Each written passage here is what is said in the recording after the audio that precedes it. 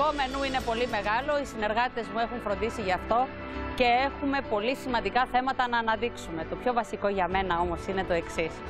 Ότι ήδη έχει φτάσει στο στούντιο εδώ ο Κώστας ο Γρήμπηλας με τη σύζυγό του και τα διδυμάκια.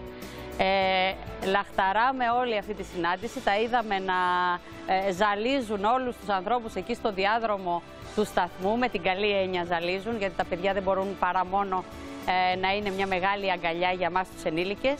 Και από εκεί και πέρα έχουμε πάρα μα πάρα πολλά να πούμε.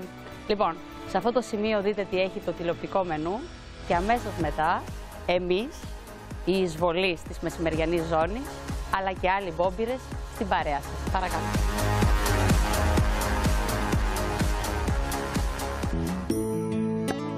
Δείτε σε λίγο. Ζωντανά στο πλατό της εκπομπής έρχεται ο Κώστας Γρήμπηλας που μετά από ένα σοβαρό πρόβλημα υγείας ζει με την καρδιά του Ντουζόν, που δολοφονήθηκε έξω από νυχτερινό μαγαζί στη Μύκονο.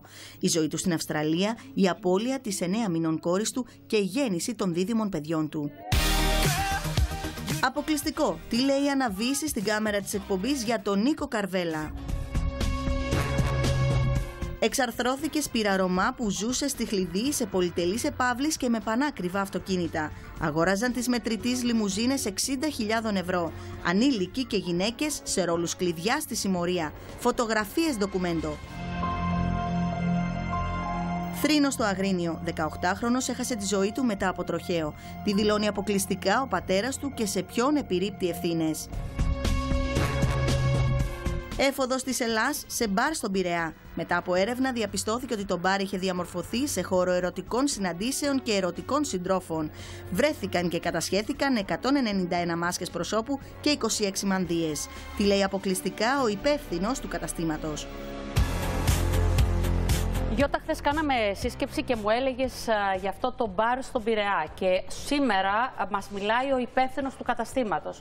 Ο άνθρωπος δηλαδή που ουσιαστικά είναι ο άνθρωπος που ανοίγει και κλείνει το μαγαζί, έτσι δεν είναι; Ναι, και είναι και ο άνθρωπος ο οποίος συνελήφθη και κατηγορείται για διευκόλυνση ακολασίας άλλων, αλλά και για παράβαση του νόμου περί Θέλω να μου πεις, σε παρακαλώ, γιατί όταν το είδαμε αυτό το θέμα να ήρθε στο φως της δημοσιότητας, ε, έψαξες πάρα πολύ για να δούμε τι ακριβώς συμβαίνει και για ποιο λόγο αυτός ο άνθρωπος πήγε μέσα. Δηλαδή, θέλω να πω, ε, για ποια είναι τα αδικήματα για τα οποία κατηγορείται. Ναι, Ζήνα, γιατί. Να πούμε καταρχήν ότι το συγκεκριμένο Swingers Club είναι το πιο γνωστό κλαμπ σε όλη την Ελλάδα, το πιο γνωστό κλαμπ ανταλλαγής συντρόφων. Και έρχονται δηλαδή, νομίζω και από το εξωτερικό. Βεβαίως. Στις 27 Ιουνίου περιμένει ο συγκεκριμένος υπεύθυνος του καταστήματος 350 ζευγάρια που έρχονται εδώ με κουραζιερόπλαιο και έχουν κλείσει το συγκεκριμένο. Από ποια χώρα έρχονται, από διάφορες χώρες; Από διάφορε χώρες και έχουν κλείσει το μαγαζί και όπως λέει ο ίδιο. Το έχω και εγώ ακουστά αυτό το μαγαζί. Ναι, Κάπου είναι εκεί προς Πειραιά μεριά είναι. Είναι προς το Πειραιά, είναι, αποτελεί δυσφήμιση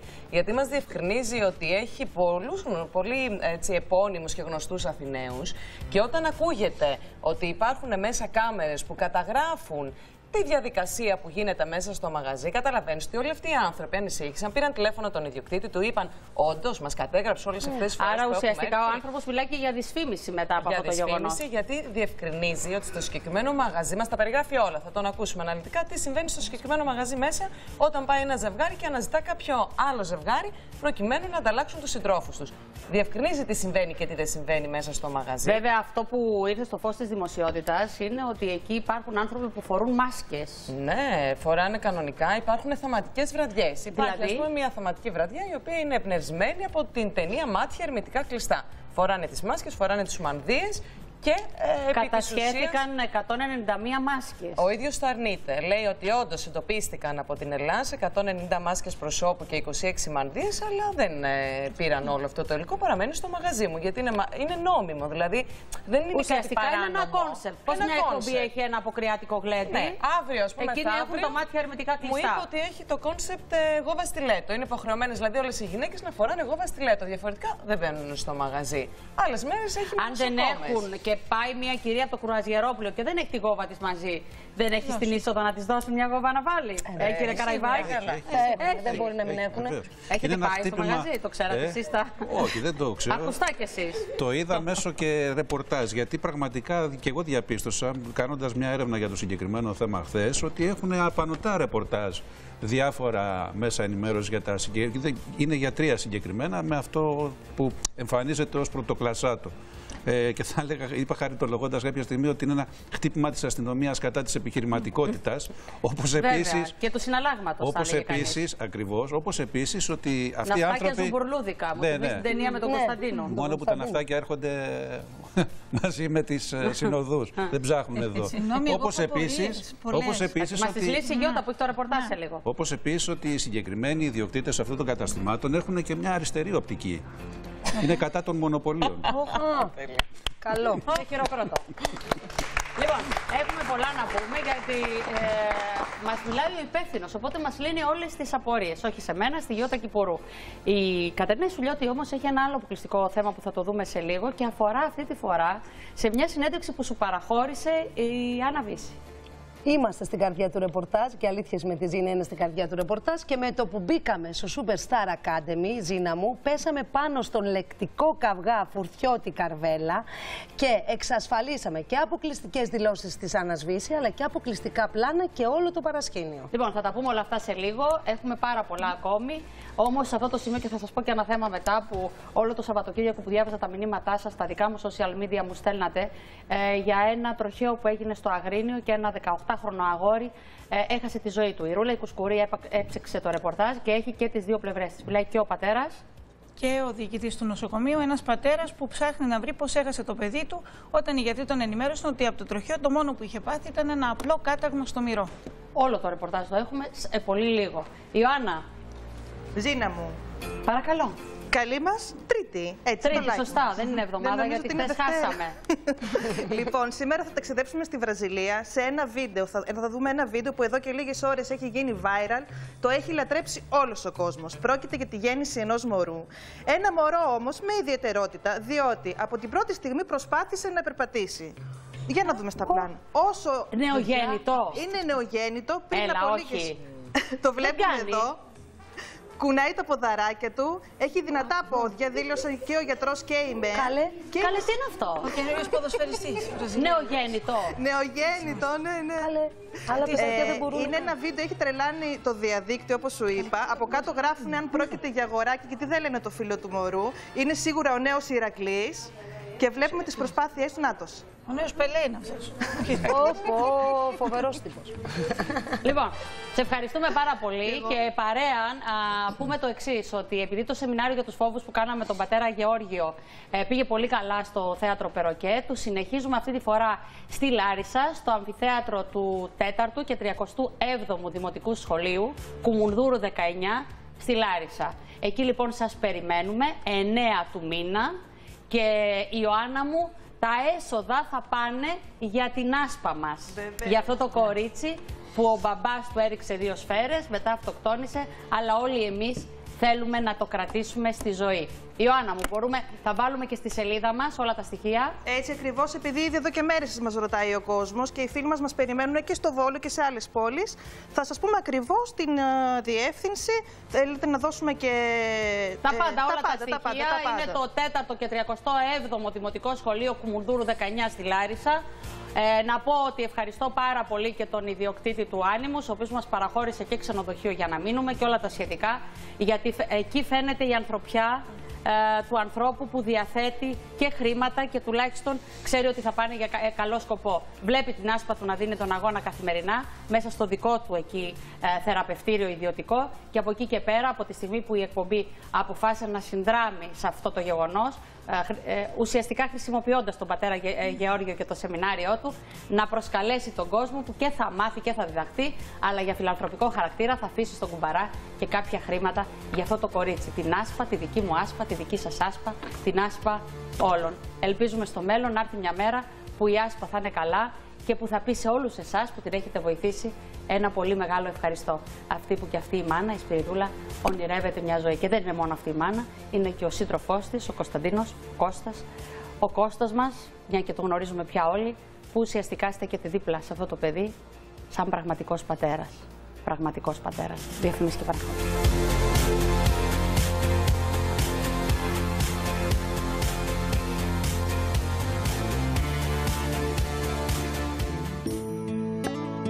Δείτε σε λίγο. Ζωντανά στο πλατό της εκπομπής έρχεται ο Κώστας Γρήμπηλας που μετά από ένα σοβαρό πρόβλημα υγείας ζει με την καρδιά του Ντουζόν, που δολοφονήθηκε έξω από νυχτερινό μαγαζί στη Μύκονο.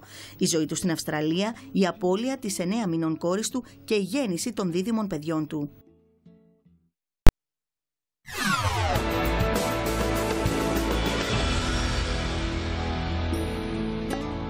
Δείτε σε λίγο. Ζωντανά στο πλατό της εκπομπής έρχεται ο Κώστας Γρήμπηλας που μετά από ένα σοβαρό πρόβλημα υγείας ζει με την καρδιά του Ντουζόν, που δολοφονήθηκε έξω από νυχτερινό μαγαζί στη Μύκονο. Η ζωή του στην Αυστραλία, η απώλεια της 9 μηνών κόρης του και η γέννηση των δίδυμων παιδιών του. Τα διδυμάκια αυτά έχουν πολύ μεγαλώσει και ουσιαστικά αλωνίζουν εδώ στο παρασκήνιο του Σταρ. Σε λίγο θα έρθουν και στο πλατό. Όμως να πάμε σε αυτό το θέμα που σας προανήγγειλα πριν και μετά θα τα πάρουμε ένα-ένα με τη σειρά. Ε, Ρούλα μου, θα πάμε στο θέμα του Αγρινίου που όπως είπα και στους τηλεθεατές, ουσιαστικά αυτό το Σαββατοκύριακο που μπήκα στα δικά μου μέσα κοινωνικής δικτύωσης, πάρα πολλοί άνθρωποι από το Αγρίνιο μου έστειλαν το συγκεκριμένο 18χρονο αγόρι που έχασε τη ζωή του και μου επεσήμαναν να εντοπίσουμε ως εκπομπή τους λόγους και να μιλήσουμε με την οικογένεια του παιδιού. Εσύ λοιπόν έτρεξες αμέσως στο ρεπορτάζ. Ακριβώς, ε, Ζήνα, μιλάμε για ένα 18χρονο παιδί που την ε, παραμονή πριν συμβεί το τροχαίο έδωσε το τελευταίο μάθημα στο σχολείο του και ετοιμαζόταν για το καινούργιο ξεκίνημα στη ζωή του. Ήταν μεσημέρι της Πέμπτης όταν ε, στην ε, γέφυρα της Ερμίτσας, στον ε, δρόμο Αντιρίου Ιωαννίνων, στην Εθνική Οδό Αντιρίου Ιωαννίνων, το παιδί αυτό προσέκρουσε με ένα, ε, όχι με ένα αυτοκίνητο που οδηγούσε μια 50χρονη γυναίκα και μεταφέρθηκε με ασθενοφόρο του ΕΚΑΒ στο νοσοκομείο, στο Γενικό Νοσοκομείο του Αγρινίου. Εκεί ειδοποιήθηκαν, πήγαν και οι δικοί του. Η ενημέρωση που είχαν αρχικά από τους γιατρούς ήταν ότι το παιδί είχε ένα κάταγμα, ανοιχτό κάταγμα, στον μυρό του. Ε, έγινε μια μικροεπέμβαση από ό,τι, είπαν, από ό,τι μας είπαν οι γονείς του παιδιού και στη συνέχεια το παιδί μπήκε στο γύψο. Λίγες ώρες αργότερα όμως το παιδί άρχισε να παραπονιέται στην μητέρα του ότι δεν μπορεί να δει. Δεν βλέπω μαμά, δεν βλέπω μαμά, δεν είμαι καλά. Και δύο η ώρα τη νύχτα τα μάτια του, όπως μας λέει ο πατέρας του, έκλεισαν για πάντα. Ήταν κλινικά νεκρό πλέον την επόμενη μέρα. Ενώ το παιδί ουσιαστικά όταν Είχε μπήκε απλώς- μέσα είχε απλώς ένα κάταγμα. Ένα κάταγμα. Ε, ο πατέρας και η οικογένεια του παιδιού ζήτησαν την εισαγγελική παρέμβαση. Έχει διαταχθεί να γίνει νεκροψία νεκροτομή από την ιατροδικαστική υπηρεσία της Πάτρας που διενεργείται αυτή την ώρα. Παρουσία τεχνικού συμβούλου της οικογένειας. Δόθηκε άδεια να, πα- να παρίσταται και ο τεχνικός σύμβουλος, είναι ο κ. Κουτσάφτης. Και αναμένουν να μάθουν το λόγο, τα αίτια που έχασαν το παιδί τους έτσι ξαφνικά. Να πούμε ότι είναι το 18χρονο αυτό αγόρι Ο που Σπύρος. βλέπουμε τώρα εδώ στις Βεβαίως. φωτογραφίες. Ο Σπύρος που σου παραχώρησε ο πατέρας του αυτές τις φωτογραφίες και σου μίλησε. Να δούμε τι σου είχε- είπε ο πατέρας. Και Είχε αμέσω θα δούμε τι μας ελεγχθεί- απαντούν και από το νοσοκομείο. Βέβαια. Γιατί Είχε έχουμε ελεγχθεί ρεπορτάζ και από για εκεί. εσωτερική αιμορραγία ή οτιδήποτε άλλο σχετικό. Ε, με από ό,τι μας ψωνικές. είπε και ο διοικητής αλλά και ο πατέρας του παιδιού, ε, ε, προκλήθηκε η εσωτερική αιμορραγία, αλλά δεν την είχαν εντοπίσει νωρίτερα. Και Μάλιστα. μάλιστα μας λένε πώ αντιδρούσαν οι γιατροί σε όλες τις εκκλήσεις των γονιών ότι κάτι συμβαίνει με το παιδί μας. Το παιδί μας Μα δεν είναι το καλά. παιδί ουσιαστικά κάποια στιγμή είπε, όπως Ναι. ισχυρίζεται η μητέρα του, ότι ε, δεν βλέπω από τα μάτια μου, δεν βλέπω Βλέπω. μαμά. Ναι. Και από εκεί και πέρα, γύρω στις 2 η ώρα, λέει, το παιδί ήταν κλινικά νεκρό. Νεκρό. Ενώ μπήκε ουσιαστικά όρθιος στο νοσοκομείο αυτό, μου Σε λιγότερα επεσήμαναν από- και οι άνθρωποι μου έστειλαν εμένα Μα πάρα μιλούσε, πολλά είχε πλήρη μηνύματα. συναίσθηση δηλαδή, του χώρου, τα θρήνος, πάντα, λέει, στο ναι. Αγρίνιο για αυτό το 18χρονο αγόρι, γιατί κανείς δεν πίστευε ότι η κατάληξη αυτού του παιδιού μετά από το τροχαίο θα ήταν ουσιαστικά μέσα Ε, σε είναι λίγες ώρες. αδιανόητο τώρα, όπως περιγράφεται, είναι αδιανόητο. Και έχει ενδιαφέρον να δούμε τι λέει Και ο η- διευθυντής του νοσοκομείου. Και η εξέλιξη με τον πραγματογνώμονα τον κύριο Κουτσάφτη, που είναι πολύ κορυφαίος τους- στο είδος του. από Οπότε τους εμπειρότερους. αυτό που θα πει ε, και η εμπειρία του στο τραπέζι νομίζω θα είναι πολύ σημαντική. Ε, να δούμε τι σου είπε ο πατέρας, Ρούλα. Πώς έφυγε από τη ζωή ο Σπύρος; εντελώς άδικα. Και ήταν άδικο αυτό που τη γλίτωσε καταργήν στο ατύχημα και την πάτησε στο κάτω. Εγώ πιστεύω ότι ήταν αμέλεια. Αμέλεια πολλών. Το κρίνανε, το κρίνανε μια επέμβαση ρουτίνας. Μας καθησυχάσανε, μας κλείσαν τα μάτια σε όλους. Τι σας είπαν αρχικά από το νοσοκομείο όταν το παιδί Μας είπαν- μεταφέρθηκε εκεί; Ότι ευτυχώς έχει μόνο ένα βε- βέβαια ανοιχτό κάταγμα στο, στο Μοιραίο. Εσείς το είδατε το παιδί; Το παιδί τι είδα, ναι. Είχε τις αισθήσεις του, σας μίλησε; Ναι, ναι, ναι, ναι. ναι. Το πρώτο πράγμα που μου είπε μόλις με είδε, μπαμπά μου δεν φταίω μου λέει. Πετάχτηκε ξαφνικά μου λέει στα πέντε μέτρα δεν πρόλαβα να αντιδράσω μου λέει. Δεν φταίω, δεν φταίω, δεν φταίω γιατί το έλεγα πάντα να προσέχει. Το παιδί ήταν ε, πάντα ήσυχο. Στη συνέχεια τι έγινε, πώς επιδεινώθηκε η κατάστασή του; Η κατάστασή του άρχισε να επιδρώνεται το, το απόγευμα και το παιδί ζητούσε βοήθεια ότι χάνει το φως του και ταλίζεται. Στη συνέχεια η μετέρα του ζήτησε να το δει κάποιος γιατρός, ήρθε γιατρός, το είδε, οι κόρες των ματιών του συστέρωνταν και διαστέρωνταν. Ε, το έβλεπε η μητέρα, όχι πόσο μάλλον ο γιατρός δεν το έβλεπε. Και μας έλεγε δεν είναι κάτι, απλά το παιδί έχει χάσει αίμα. Ναι. Λοιπόν και είναι φυσικό και επόμενο. Ναι. Την επόμενη μέρα στις 10 και μισή όταν το παιδί ήταν νεκρό πλέον. Ναι. Ήταν κλινικά νεκρό. Ήταν... Το παιδί μέχρι τις 2 η ώρα το βράδυ είχε τις αισθήσεις του και μίλαγε κανονικά. Απλά έχανε το φως του. Ναι. Και αργά τη νύχτα το έχασε τελείως το φως του. Έλεγε μαμά μου δεν βλέπω καθόλου. Δεν βλέπω τίποτα. Τις 2 η ώρα κλείσαν τα ματάκια του. Του έλεγε η μητέρα του ησύχασε αγόρι μου ησύχασε. Από ό,τι μας λέγανε μας καθησυχάζαν όλοι. Το παιδί μετά τα επίγοντα πήγε για ακτινογραφία. Μόνο αυτή ήταν η εξέταση που έγινε μέχρι και την άλλη μέρα το πρωί στις 9 η ώρα. Πέρα, πέρα από τις εξετάσεις αίματος, έτσι. Δεν έγινε δηλαδή Αλλά- αξιονική... Αξονική έγινε, έγινε στις 9 το πρωί. Την επόμενη μέρα δηλαδή. Ναι, Μάλιστα. ναι. Όταν το παιδί ήταν σε αφασία, δεν ξυπνούσε, έκανε σπασμούς, έκανε... Τι να σας λέω τώρα, τα έχω ζήσει από εκεί. Έχει μπει τεχνικός σύμβουλος από εσάς προκειμένου να ε, γίνει νεκροψία νεκροτομή; Ναι, ναι, για να βρείτε τα αίτια θανάτου. ναι. Χτες που καταφέραμε και πήραμε το φάκελο, έκαναν ένα συμβούλιο στο γραφείο του διοικητή και τελικά μας ενημερώσανε ότι το ρίξανε σε λιπόδι εμβολή. Δεν ήθελα να μάθω ή- για, να μου δώσουν ένα λόγο για, γιατί θεωρήσανε αυτό, α- αυτό το, το, το τραύμα τόσο, τόσο απλό. Γιατί δεν ασχοληθήκαν καθόλου για έναν νέο άνθρωπο. Η Ναι. 50χρονη οδηγός που ενεπλάκη στο τροχαίο εμφανίστηκε καθόλου, σας μίλησε, ήρθε σε επικοινωνία μαζί σας; Ναι, ναι.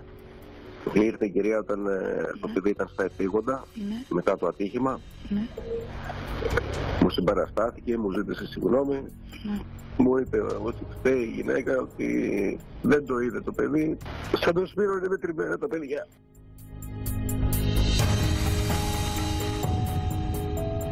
Δύσκολες οι ώρες για την οικογένεια Ρούλα μου. Ακριβώς Η και 50χρονη τι είπε; Η 50χρονη να πούμε ότι συνελήφθη την ε, Παρασκευή, ασκήθηκε δίωξη για ανθρωποκτονία που αμέλεια και αφέθηκε ελεύθερη.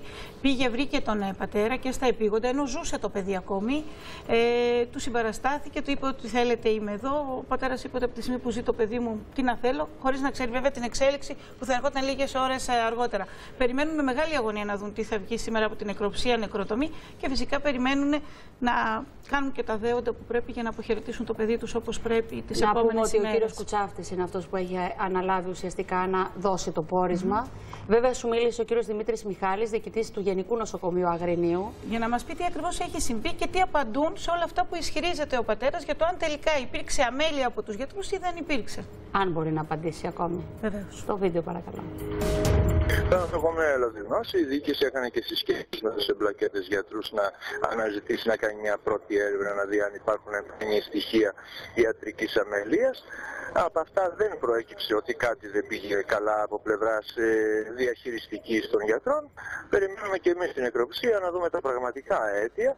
Έτσι, γιατί ο χρόνος από τον, τη στιγμή που επιβαρύνθηκε το παιδί μέχρι την καταγωγή του ήταν υπερβολικά μικρός και δεν έδωσε τον χρόνο στους γιατρούς να διαγνώσουν τι είναι αυτό που επιβαρύνει την κατάσταση. Και υπάρχει και για μας το ερωτηματικό τι ακριβώς συνέβη και οδήγησε σε αυτό το ε, λυπηρό ε, συμβάν. Ε, περιμένουμε την ιατροδικαστική εξέταση και εμείς και μετά θα ερευνήσουμε την το ενδεχόμενο ύπαρξη ευθυνών ή όχι και αναλόγως φυσικά θα κινηθούμε αν και εφόσον επίσταται τέτοια θέματα. Ωραία. Έτσι, έγινε μια πρώτη έρευνα από την διοίκηση και από μένα προσωπικά επειδή την είχα είναι και γιατρός ε, με σύσκεψη όλων των εμπλακέτων γιατρών και ειδικοτήτων ε, δεν φαίνεται εμφανώς ότι κάτι δεν έγινε διαχείριση όπως θα έπρεπε, όπως επιτάσσει η ιατρική διατρολογία και επιστήμη να γίνει. Από εκεί πέρα περιμένουμε όλοι το αποτέλεσμα πριν πούμε οτιδήποτε. Φυσικά οι επιστήμονες κάνουν τις εικασίες τους ως προς τις πιθανότητες που οδήγησαν εκεί και υπάρχουν τέτοια δεδομένα, ακόμα και σε τέτοια τράβα που αρχικά φαίνονται απλά, αλλά δεν μπαίνουμε στη συζήτηση και προσδιορισμό παθολογικών καταστάσεων πριν δούμε την ιατροδικαστική εξέταση. Εδώ λοιπόν είμαστε. Ε, ευχόμαστε να δικαιωθούν αυτοί οι άνθρωποι, να βρεθεί η αλήθεια, τι ακριβώς έχει συμβεί με το παιδί τους και νομίζω ότι από εκεί και πέρα και ο διοικητής του νοσοκομείου θα πρέπει να ε, πάρει την πρωτοβουλία, ε, αν πραγματικά την ευθύνη φέρνουν οι γιατροί, να δουν ε, τι ακριβώς είχε συμβεί εκείνη τη μέρα που πήγε ο 18χρονος. Δεν λέμε κάτι άλλο τώρα. Βάζουμε μια ανωτελεία. Γιατί μιλάμε για τη ζωή ενός 18χρονου παιδιού και, Και, δεν από εκεί και ξέρουμε πέρα αν ενό ολόκληρου ακολουθήθηκαν νοσοκομείου. Έτσι. όλες οι ενδεδειγμένες ενέργειες που γίνονται μετά από ένα τροχαίο Λοιπόν. τέτοιου, τέτοιας μορφής. Ε, πάμε, Γιώργο μου, στο θέμα της εκ- εξάρθρωσης της ε, σπήρας στο Ρωμά με τις αποκλειστικές φωτογραφίες που θα μας δείξεις και μετά θα πάμε στο θέμα της ε, Γιώτας με το ε, μπαρ της ακολασίας όπως είναι ακολασίας σε ερωτηματικό γιατί εισαγωγικά. κρατάμε τις επιφυλάξεις Ναι, ναι. μας αλλά λέμε τι έγινε στο φως της δημοσιότητας και μου έλεγες τώρα πριν ότι στο blog.gr στο site που ε, ουσιαστικά είναι στην κατοχή σου και γράφεις και εκεί είναι πρώτο θέμα ε, σε κλικ Σε αναγνωσιμότητα. σε, α- ε, για να τα λέμε αυτά, τι μπαίνει ο κόσμος να διαβάσει. Διαβάζει. Γι' αυτό λοιπόν είπαμε οι τουρίστες σε αυτή τη χώρα, τα ναυτάκια, τα Ε, ο ζουμπουρλούδικα κόσμος- και ο τα κόσμος- κουρασιερόπλια δεν έρχονται τυχαία σε αυτή τη χώρα και μάλιστα πάνε προς Πειραιά, εκεί που είναι αυτό το Ο μαγαζί. κόσμος ενισχύει αυτού του είδους και τις προοπτικές και τις εκφάσεις της επιχειρηματικότητας, όπως και Ωραία. να το κάνει. Πάμε λοιπόν στο άλλο θέμα όμως, της εξάρθρωσης Άλλου είδους επιχειρηματικότητα. Αυτή κι αν είναι επιχειρηματικότητα όμως. είναι ντελικατές σε ναρκωτικών έξω από επαύλη στα Άνω Λιώσια. Μ' άρεσε πάρα πολύ και αυτός ο τίτλος. Βέβαια θα πάμε στην εξάρθρωση της πύρας και τη χλειδί.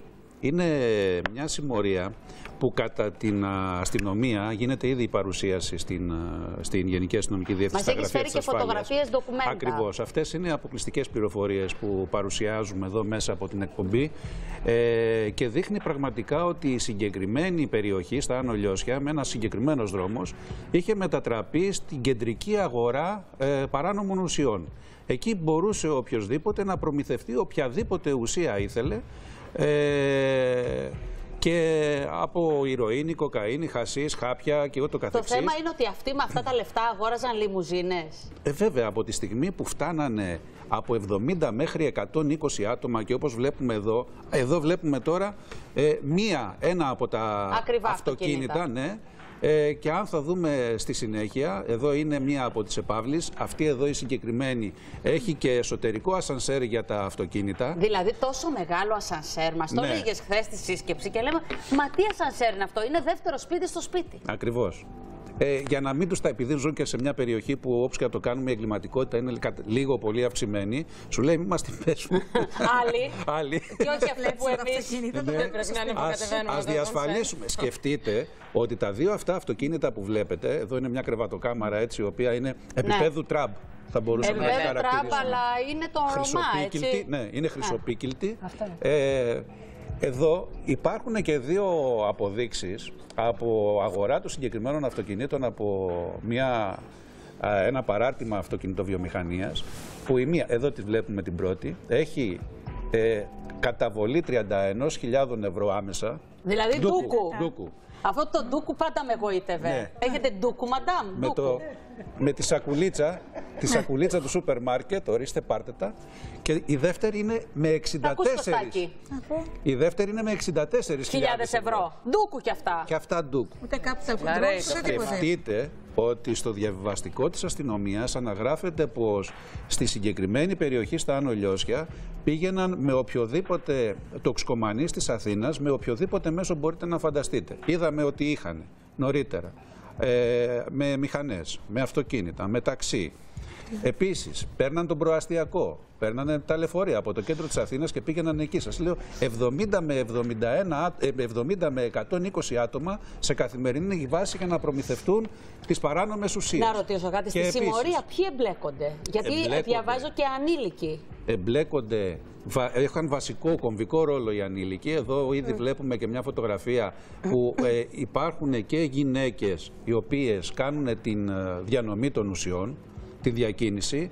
Να, είναι χαρακτηριστικές αυτές οι φωτογραφίες. Υπάρχουν και ανήλικοι και μάλιστα επειδή διαχωρίστηκε η δικογραφία για τους ανήλικους, χθες οδηγήθηκαν στην εισαγγελία ανηλίκων σε γραμμή μια ομάδα από ανήλικα παιδιά που κατηγορούνται για συμμετοχή στη συγκεκριμένη οργάνωση. γίνεται, το ρε δε παιδιά; παρελθόν. Ρωμά το- είναι τα παιδιά; Ρωμά, Ρωμά. Ρωμά. Το δε παρελθόν των πρωτοκλασσάτων στελεχών, ποινικό εννοώ, της Ναι, ναι, ναι. ε, συγκεκριμένης ε, συμμορίας, καλύπτει, αν θέλετε, για να το μεταφέρεις χρειάζεται οπωσδήποτε ε, το καρότσι της, ε, του σούπερ μάρκετ. Του καθενός από αυτούς. Θέλω Καλά να- παιδιά δηλαδή. Ναι, ναι, ναι. Είναι γνωστοί στην αστυνομία. Πάρα πολύ γνωστή. Έχουν χαρτοφυλάκια. Είναι, είναι, βλέπετε, αυτό εδώ που βλέπετε, που παρακολουθούμε όλες αυτές τις, ε, αυτό- σε αυτό το χρονικό διάστημα, είναι αποκαλυπτικό του τι ακριβώς γινότανε. Ξέρανε, ήξερε όλη η αγορά, όλη η πιάτσα της Αθήνας ότι εκεί πραγματικά είναι αυτό που λέμε. Ένα delicatessen διακίνησης εμένα και το προμήθειας. Delicatessen. Ναι, γιατί... Δηλαδή ότι είναι γκουρμέ, ας Γκουρμέ, πούμε. Ότι είναι ακριβώς. πολύ ψηλά. Ναι, γιατί και, τα, και η ποιότητα, σύμφωνα απο- έτσι όπως έχει ελεγχθεί από το Γενικό Χημείο του κράτους, ήταν υψηλής ποιότητας. Ε, και βέβαια κάποια από αυτά υπάρχουν και άλλες φωτογραφίες, τα κρύβανε μέσα σε κρύπτες τις οποίες τα, τις ουσίες αυτές για να μπορέσεις να, τη- να έχεις πρόσβαση έπρεπε να σκάψεις το, το υπέδαφος, κάνανε ανασκαφές. Ε, αλλά σε επαναλαμβάνω και πάλι ότι είναι εντυπωσιακό. Πάντως, εγώ έχω Βλέπετε- μείνει και έχω κολλήσει στο ασανσέρ. Το οποίο σε αυτό το χλιδάτο σπίτι που μας έδειξες πριν, καλά, αυτή είναι η κρεβατοκάμαρα, Αυτή είναι μιλάμε τώρα, για εντάξει. ακριβά γούστα. Ε, που μπαίνει ουσιαστικά με το ασανσέρ το αμάξι στο σπίτι. Ναι. Αυτός είναι. ήταν ο αρχηγός της πύρας Ναι, ναι, αυτής. ναι. Είναι από, τα αρχηγικά, είναι από τα αρχηγικά μέλη και μάλιστα μετά από αυτήν την, α, την εξάρθρωση της συμμορίας της κλειδίας ακολούθησε και δεύτερη δικογραφία συμπληρωματική γιατί προέκυψαν και άλλα αδικήματα για τα οποία ήδη αυτή την ώρα γίνεται μια εκτενή παρουσίαση και ανάλυση από Άνω την Διοικητική τελεία, Ασφάλειας διότι Αττικής. μας μίλησε ο κύριος Γιάννης Γλύκας, δικηγόρος των κατηγορουμένων των Ρωμά, να δούμε ποια είναι η δική του θέση. Ακριβώς. Το βίντεο παρακαλώ. σε σχέση με την κατηγορία, έχω αυτό που έχω να σου πω είναι το εξής. Υπάρχει μια μεγαλύτερη διάσταση από την πραγματική. Ε, Υπάρχει ένας χαρακτηρισμός ε, με την έννοια ότι φαίνεται να έχουν συστήσει εγκληματική οργάνωση. Αυτό είναι πάρα πολύ μακριά από την πραγματικότητα. Αλλήμον αν αυτά, αυτές οι μορφές παραβατικής συμπεριφοράς, εάν υπάρχουν, να οδηγούν σε λογικές εγκληματικές της εγκληματικής οργάνωσης. Τα δικαστήριά μας μέχρι τώρα έχουν ε, αποφανθεί ότι αυτές οι ενώσεις προσώπων το πολύ να αγγίζουν ή να πλησιάζουν στην έννοια της απλής συμμορίας και όχι την έννοια της Για εγκληματικής πόσα οργάνωσης. άτομα μιλάμε; Η κατηγορία τώρα έχουν συλληφθεί 19 άτομα, 4 εξ αυτών είναι ανήλικοι, ε, αναζητούνται άλλα 10 περίπου πρόσωπα. Αλλά αυτό έχει να κάνει με την παραβατική συμπεριφορά περίπου, 10, περίπου 5 σπιτιών, 5 οικογενειών, που αυτό προφανώς θα πρέπει να εξατομικευτεί. Δεν υπάρχει μια υπερβολή. Μια υπερβολή όσον αφορά την αποτίμηση του αποδεικτικού υλικού. Μια απλή φωτογραφία δεν λέει τίποτα. Προφανώς, εάν υπάρχει μια, διακίνηση, μια μορφή διακίνησης, σίγουρα θα πρέπει να τιμωρηθεί. Αλλά άλλο απειλούμενη ποινή ισοβίων που είναι το κατηγορητήριο, άλλο μια ποινή τελική που μπορεί να είναι ακόμα και πέντε χρόνια φυλάκιση. Δεν σημαίνει ότι μια επαυλή που μπορεί να είναι οικογενειακή οικία 30-40 ετών και να έχει χτιστεί πριν 10 χρόνια. Ε, μια σχετικώ πολυτελή. Τώρα, το, που- ποια είναι η έννοια της έπαυλη είναι κάτι το οποίο δεν θα το υποστηρίξω εγώ, ε, ούτε είναι, είναι ο ρόλος μου αυτός.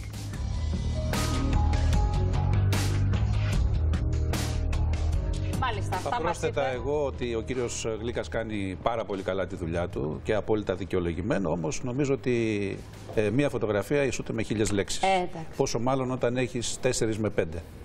Φωτογραφίες, Φωτογραφίες. που δείχνουν Και με ακριβώς τις τι απο- συνέβαινε. Και με το σπίτι, κάτωψη και άποψη, εσωτερικό και εξωτερικό και με τα Πάντως αυτοκίνητα εξωτερικά και με το τις, σπίτι Κίωνες, και με βλέπω τις αποδείξεις. νεοκλασικής έτσι. Ναι, Ε, εντάξει, υπήρχε μια. Αρχιτεκτονικής. Είπαμε, ντελικατέσεν γκουρμέ, όλα αυτά συνοδεύονται και μια έτσι ελιτίστικη αντίληψη για το Μια ζήν. χαρά. Ναι. Λοιπόν, πάμε τώρα στο θέμα που προαναγγείλαμε από την αρχή της εκπομπής, κύριε Καραϊβάς, και ήταν το κεντρικό θέμα συζήτησης στη χθεσινή σύσκεψη που απουσιάζατε. Βέβαια, στη χθεσινή σύσκεψη που έγινε μετά τις 4 λόγω της τάσης εργασίας, ήμασταν Νυχτή όλες οι ήταν γυναίκες. Έτσι, Γιώτα Και μου. γι' αυτό Ο και κύριος Τρουμπάκο ασχοληθήκαμε πάλι δεν και με ήταν, αυτό οπότε το θέμα. θέλω Ναι, την όχι. ε, άποψή Ήμουν του από τα σήμερα. ξημερώματα χθες. Ευχαριστώ, Δημήτρη. μου. Τις 7 το πρωί. Πάμε λοιπόν να αναπτύξουμε αυτό το θέμα, γιατί πραγματικά είναι ένα θέμα που ε, ουσιαστικά πρέπει να καταλάβουμε που είναι το μεμπτό της ιστορίας και γιατί κατα... κατηγορείται ο υπεύθυνος του καταστήματος, Γιώτα μου. Ναι, γιατί κατηγορείται και γιατί ο ίδιος λέει ότι αποτελεί δυσφήμιση για το μαγαζί του και διευκρινίζει κάποια πράγματα από την Ναι, δική αλλά τον του άνθρωπο πλευρά. τον συνέλαβαν, έτσι δεν είναι; Τον συνέλαβαν στο πλαίσιο του αυτοφόρου και τώρα έχει φεθεί ελεύθερος μέχρι να γίνει το δικαστήριο. Βεβαίω. Ε, Το κλαμπ λειτουργεί κανονικά. Κανονικά ωστόσο. λειτουργεί, Ναι. βεβαίω. Το Σάββατο μου είπε ότι την επόμενη μέρα, δηλαδή άνοιξαν. Αν τα πάρουμε λίγο τα πράγματα με τη σειρά, την περασμένη Και καθημερινές Παρασκευή. είναι ανοιχτά; Ή μόνο Σαββατοκύριακο; Είναι Παρασκευή, Σάββατο, Κυριακή, είναι αρκετές μέρες. Αναλόγως. Τώρα που Μέσα ανοίγει ο στην καιρός κρίση. και έρχονται τα Μέσα στην κρουαζιερόπλια. κρίση, και ανοίγει η Κατερίνα μου, δουλειά. σωστά το λες. Μια χαρά. Τα κρουαζιερόπλια το ανοίγουν. Ειδικά Βέβαια. είπαμε προς Πειραιά είναι. Ναι, είναι Πειραιά, στο Πειραιά, μεριά. είναι στην ε, περιοχή του Πειραιά. Την περασμένη Παρασκευή, λοιπόν, ε, Ζήνα, άντρες της Ελλάδα έκαναν ε, έφοδο, έκαναν μία, όπως ο ίδιος ο υπεύθυνος καταστήματος τη χαρακτηρίζει, μία κλασική έρευνα που γίνεται σε αυτά τα μαγαζιά. Κατά τη διάρκεια της έρευνας, λοιπόν, εντοπίστηκαν ε, 191-192 μάσκες ε, προσώπου, σαν αυτές που όλοι έχουμε δει από την ταινία Μάτια Ερμητικά να, κλειστά. εδώ. Ναι, τέτοιες μάσκες. Και 26 μανδύες εντοπίστηκαν μέσα στο μαγαζί. Επίσης, κατασχέθηκε ο υπολογιστής ε, που υπήρχε, ο κεντρικός υπολογιστής στο κατάστημα και εντοπίστηκαν και τρεις ε, κάμερες εξωτερικά από κλειστό κύκλωμα ασφαλείας. Όμως οι κάμερες αυτές ήταν εξωτερικά του Όχι καταστήματος. μέσα. Όχι μέσα στο κατάστημα. Ο υπεύθυνος, ο οποίος μας μιλά και θα τον ακούσουμε, ε, συνελήφθη από τους αστυνομικούς, κατηγορείται για διευκόλυνση ακολασίας άλλων και για παράβαση του νόμου περί Τι προστασίας σημαίνει διευκόλυνση ακολασίας; προσωπικών δεδομένων. Τον ρωτώ λοιπόν, από τη στιγμή που εσείς ισχυρίζετε, ισχυρίζεστε ότι στο συγκεκριμένο κλαμπ, το οποίο είναι swingers club, δηλαδή πάνε ζευγάρια με σκοπό την ανταλλαγή συντρόφων. Εκεί δεν πάμε εγώ με τις και η μάσκες Κατερίνα πάνε, ή μισό εγώ και λεπτό. εσύ. Ε, ρώτα, Κατερίνα, με μου τι τις θες; μάσκες, γιατί εγώ δεν, δεν, Μπορεί δεν το κάποιος να κατάλαβα. πάει, μου λέει ο υπεύθυνος του καταστήματος, μπορεί να έχει τη δική του μάσκα, τη μάσκα και να πάει. Ναι. Ή να την προμηθευτεί στην είσοδο του καταστήματος. Αυτό που είπαμε τη Γόβα, ας Ναι, πούμε. το Δεν διαφημίζουν. έχει, σου δίνουν. Το Το διαφημίζουν άλλωστε και στη σελίδα που έχουν στο Facebook. Εξ όσων μπήκα, αναδίφησα και μελέτησα εντρυφώ. Τι μου λέτε, κύριε Καραϊβάζη. Ναι, αφού έπρεπε να κάνουμε Μπορώ να ρεπορτάζ. μελετήσω λίγο κι εγώ τη σελίδα; Για πείτε μας, Γιώτα, εσείς Το που- ρωτώ λοιπόν Είχε τον, και ε, μάσκα Βεντέτα, Viver for Vendetta. Βέβαια, έχει διάφορες. Είπαμε, έχει πολλές Για λέγες. θεματικές βραδιές. Πότε είναι η βραδιά για νοσοκόμες, πότε η βραδιά έχει γόβα για σκελέτο. νοσοκόμες; Ναι, ναι, είναι το κόνσεπτ ότι πάμε σε ένα νοσοκομείο, άλλοι είναι γιατροί ντυμένοι, άλλοι νοσοκόμες. Υπάρχει μάσκα ασθενή. Ε, δεν υπάρχει. Γιατί τον υπάρχουν ασθενή. καπελάκια, εντάξει. Αναλόγως. Ο τελευταίος. αναλόγως. Δεν σου πέρασε να γίνεις γιατρός. Είχαν και ζουρλομανδύες στην έξοδο. Για πες. Ε, λοιπόν, τον ρωτώ τον υπεύθυνο του καταστήματος συνέντευξη γιατί ε, κατηγορείστε ε, για ε, διευκόλυνση ακολασίας άλλων. Από τη στιγμή που όπως ισχυρίζεστε εκεί πέρα δεν γίνεται κάποια ολοκληρωμένη ερωτική πράξη. Πάνε τα ζευγάρια, κάθονται Εννοείται. απέναντι ε, από το άλλο στο μπαρ, πίνουν τα ποτά τους, επιλέγουν με ποιο ζευγάρι θα ανταλλάξουν τους συντρόφους τους, αλλά δεν γίνεται αυτό μέσα στο μαγαζί. Η συνέχεια, όπως ο ίδιος λέει, γίνεται σε ένα ξενοδοχείο, στο σπίτι τους, όπου Όπου θέλει θέλουν. ο καθένας. Ε, και μου λέει: Δεν ξέρω, λέει τι να σας πω. Μπορεί να ανέβηκαν σε άλλον όροφο, να πήγαν σε διπλανό δωμάτιο και κάποια ζευγάρια εκεί να είχαν προχωρήσει λίγο ε, Παραπέρα. παραπάνω σε μια ερωτική πράξη. Και γι' αυτό να με κατηγόρησαν για το συγκεκριμένο αδίκημα. Τώρα για τον ε, νόμο περί προστασίας προσωπικών δεδομένων, επίσης είναι κάτι που διευκρινίζει, γιατί κατευθείαν τον πήραν τηλέφωνο όλοι οι πελάτες του, όπως λέει έχει πολλούς επώνυμους πελάτες. Να μην μπούμε να περιγράψουμε τι πελάτες έχει Ζήνα, Και να μας γιατί πεις τι πελάτες Τι έχει. πελάτες. Δηλαδή πηγαίνουν Έλληνες εδώ γνωστοί; ο ίδιος ισχυρίζεται ότι υπάρχουν από όλα τα κοινωνικά στρώματα της Γιατροί, Αθήνας. δικηγόροι. Γιατροί, δικηγόροι. Τους δημοσιογράφους Και όχι δεν μόνο. έβαλε μέσα. Τους δημοσιογράφους δεν τους έβαλε, δεν ξέρω τώρα. Για γιατί ευνόητους μιλούσαν λόγους. δημοσιογράφου. Λέει λοιπόν ότι κατευθείαν όταν ε, βγήκαν όλα αυτά τα δημοσιεύματα, του τηλεφώνησαν οι πελάτες του και τον ρώτησαν αν όντως υπάρχουν κάμερες μέσα στο μαγαζί. Και αν έχουν καταγραφεί τα όσα οι ίδιοι έπραξαν μέσα στο μαγαζί. Γιατί καταλαβαίνουμε τι άλλος θα προκληθεί σε αυτή την περίπτωση. Και τονίζει ο άνθρωπος ότι δεν υπάρχουν κάμερες μέσα στο μαγαζί και όχι μόνο δεν υπάρχουν κάμερες, απαγορεύεται να έχεις και το κινητό σου μαζί μέσα στο μαγαζί. Το αφήνεις κινητό το είσοδο; παρατηρείς στην είσοδο. Για- δεν Για να μην καταλαβαίνω γιατί βγουν δεν υπάρχουν φωτογραφίες. κάμερες μέσα, δεν έχω καταλάβει. Για την προστασία ακριβώς των προσωπικών προσωπικών δεδομένων. δεδομένων. Είναι προσωπικό δεδομένο. Βρε, όταν αγάπη πας. μου, πας εσύ. Όπως λένε, ας πούμε, κα- καταγράφει ο άλλος στην τουαλέτα. Είναι δυνατόν να σε καταγράψει στην τουαλέτα. σε καταγράφει σε ένα μπαρ που εσύ ουσιαστικά έχεις τρυφερό τετατέτ με τον Ακριβώς. Γιώργο Καραϊβάς. Σε Γιατί μπορεί καταγράφω. να αποτελέσει Όχι, αντικείμενο σωστό. εκβιασμού. Και όχι μόνο αυτό. Ε, είναι πολύ συγκεκριμένος ο σκοπός για τον οποίο πηγαίνει ένα διακίνηση ζευγάρι υλικού. εκεί. Όταν πηγαίνει προκειμένου ένα ζευγάρι να βρει άλλο ζευγάρι για να ανταλλάξουν τους συντρόφους τους. Πάντως να πούμε ότι έρχονται κρουαζιερόπλια α, από διάφορα μέρη του κόσμου για να επισκεφτούν το δικό μας κλαμπ. 27 Ιουνίου, είπαμε και πριν Ζήνα, στις 27 Ιουνίου περιμένει 300 ζευγάρια. Έχουν έρθει, έχουν κλείσει το μαγαζί, θα έρθουν με κρουαζιερόπλιο και έχουν κλείσει το συγκεκριμένο μαγαζί για αυτό το λόγο. Πάμε λοιπόν να δούμε τι σου είπε ο υπεύθυνος.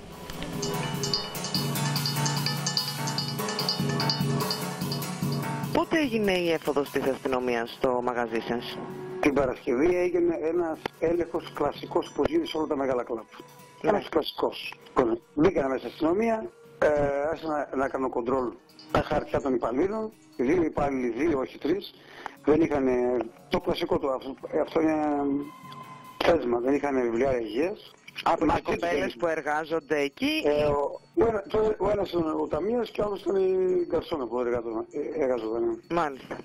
Και δεν είχαν δύο βιβλία υγείας, όλοι οι άλλοι είχαν. Εσείς κατηγορηθήκατε για διευκόλυνση ακολασίας ναι, και για ναι. παράβαση του νόμου περί προστασίας προσωπικών δεδομένων. Ναι, γιατί έχω, είχα τις κάμερες έξω, τρεις κάμερες οι οποίες δεν είναι, αλλά δεν είναι τίποτα, είναι πολύ απλά, τα- δεν είναι η πλημμυρή μέτρα. Άρα εσείς κατηγορείστε τώρα για τα συγκεκριμένα αδικήματα. Όχι, κάποιες ναι, αλλά δεν είναι πλημμυρή μέτρα, δεν είναι τίποτα. Το λέω και το δικαστήριο μ, θα γίνει τον Ιούνιο. Το είναι έτσι τις 12 Ιουνίου. Πήγαν στις γωνίες, βρήκαν ζευγάρια να έχουν όχι σεξ, να φιλιούνται και αυτό το μεγάλωσαν το κάνα πέρα στο θέμα. Οι αστυνομικοί δεν έγραψαν κάτι τέτοιο, ότι ε, κάναν ε, στη δικογραφία ότι είχα- υπήρχε σεξ μέσα στο μαγαζί για εκεί. Δεν υπάρχουν κάμερες μέσα στο κλαμπ, δεν, βρήκα, δεν γράφει δικογραφία κάμερες. Έχει τρεις κάμερες εξωτερικές, μόνο και μόνο για ασφάλεια των πελατών και ασφάλεια του μαγαζιού. Δηλαδή εκεί πέρα η περιοχή είναι ελληνική.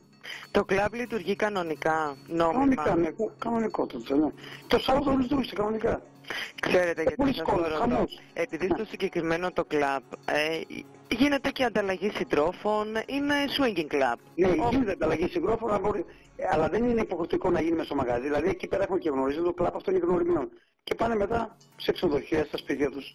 Μέσα, το αν σε μια γωνία ε, γίνει μια μικρή ερωτική αγγίγματα, δεν μπορεί εγώ τον κασό να πάω και να πω παιδιά μην αγγιζόσαστε ή δεν φιλιώσετε. Άρα δεν υπάρχει ολοκληρωμένη σεξουαλική πράξη μέσα Όχι, στο μαγαζί. τίποτα, τίποτα, τίποτα. Τα κρεβάτια που υπάρχουν στο μαγαζί σας, Δεν, είναι, δεν υπάρχουν κρεβάτια, υπάρχουν καναπέδες. καναπέδες μόνο. Και το κλαπ, το κλαπ είναι μεγάλο. Είναι και, το κλαπ είναι μεγάλο.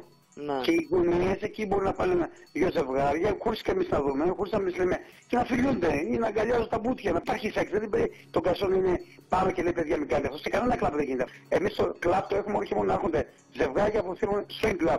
Θέλουν να γνωρίσουν άλλα ζευγάρια, να κάνουν μια σχέση. Κατασχέθηκαν ε, μανδύες, μάσκες, ε, όπως γράφτηκε; Απλά είδαν μανδύες γιατί εμείς κάνουμε θεματικά πάρτι.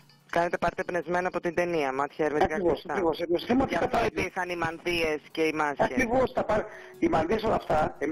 εμείς στα μαγαζί υποχρεούμαστε να τα έχουμε αυτά. Δεν επιβάλλουμε τον πελάτη να τα βάζει. Παίρνει στη ρεσιψιόν, παίρνει το μαντία και τη μάσκα, τη βάζει, μπαίνει μέσα και όταν φεύγει την παραδίνει ξανά πίσω στη ρεσιψιόν.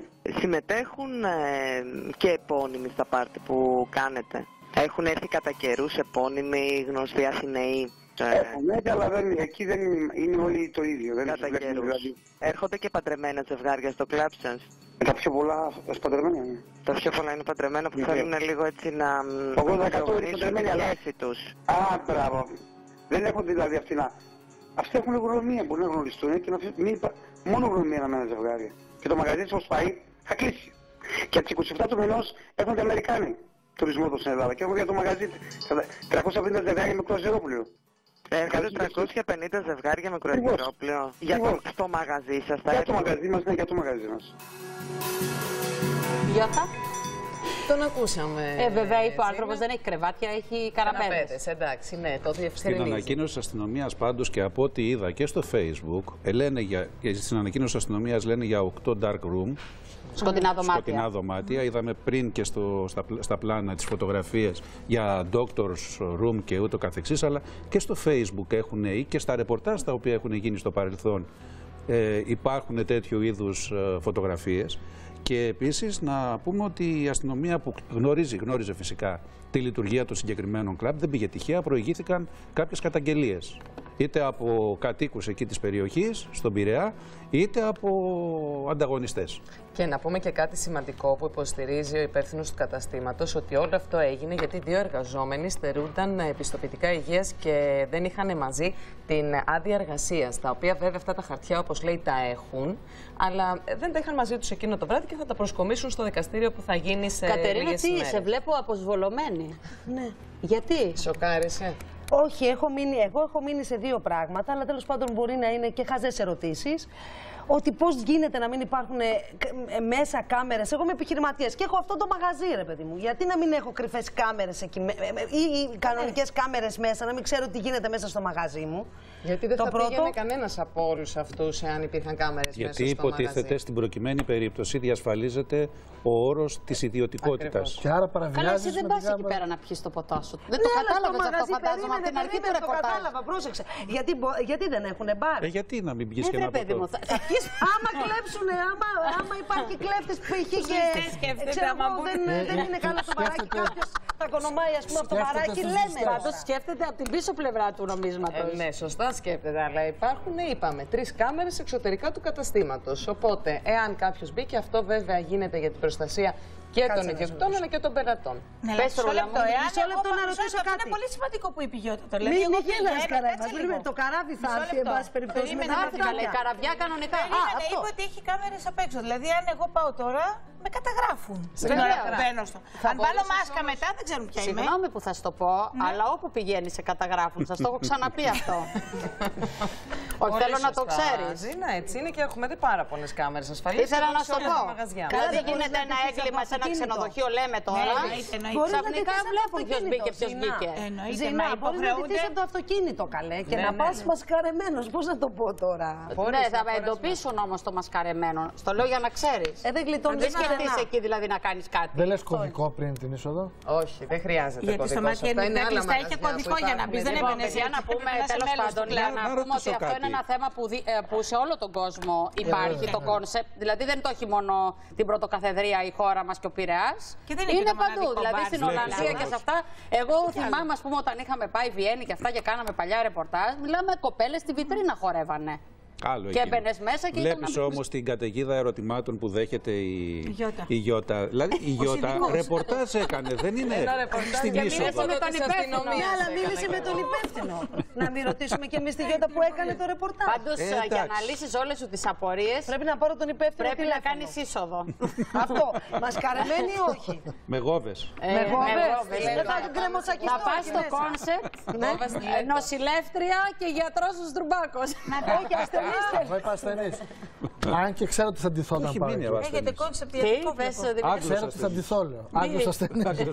Τι, Άγγλος ασθενής. Πάντως προς τιμή του Ζήνα, ο Εντάξει, και σου υπεύθυνος, ο μίλησε. οποίος κατηγορείται, Ναι, μίλησε και ο άνθρωπος. Σου λέει, εμείς είμαστε καθαροί, δεν έχουμε κάτι. Εντάξει, δεν ξέρουμε τι θα γίνει στην Μα πορεία. σας λέω γιατί μου έκανε εντύπωση και το πρώτο σχόλιο που. ε, ε, Εσύ ε, κοίτα πήρα- στο blog.gr είναι πρώτο θέμα ακόμα Ναι, και άστα ναι, τα είναι. υπόλοιπα. Το Ε, πρώτο, μα είναι. σχόλιο, το πρώτο σχόλιο που πήρα ήταν ότι αυτό, εδώ έχουμε, αυτή η έφοδος της αστυνομίας συνιστά χτύπημα κατά της επιχειρηματικότητας. Και είπαμε και τι Είπαμε, άλλο. Του εντάξει. ξένου τουρισμού στη χώρα μας. Ακριβώς, ακριβώς. Εδώ μιλάμε, θέλουμε το, τα- το συνάλλαγμα και το διώχνουμε. Θυμάσαι τότε στην ταινία, εγώ δεν την ξεχάσω Τα ποτέ, γελάω με ναυτάκια, την τα καλωτού. ζουμπουρλί, ναι. Ναυτάκια ζου- ζουμπουρλούδικα με την καλουτά και τον Κωνσταντίνο που προσπαθούσαν να τους μάθει αγγλικά. Ο κήπος κήπος είναι, είναι ανθυρό. ανθυρός που λέγεται. Ναι, ο κήπος είναι. Σε βλέπω σφιλιώτη. Λοιπόν, πάμε γρήγορα σε διαφημίσεις και αμέσως μετά στο πλατό θα πλημμυρίσει από αγάπη αυτό το πλατό γιατί αυτή εδώ η εκπομπή ήταν προάγγελος όλων των καλών μηνυμάτων από τον Κώστα Γρίμπηλα και την οικογένειά του μετά τις διαφημίσεις.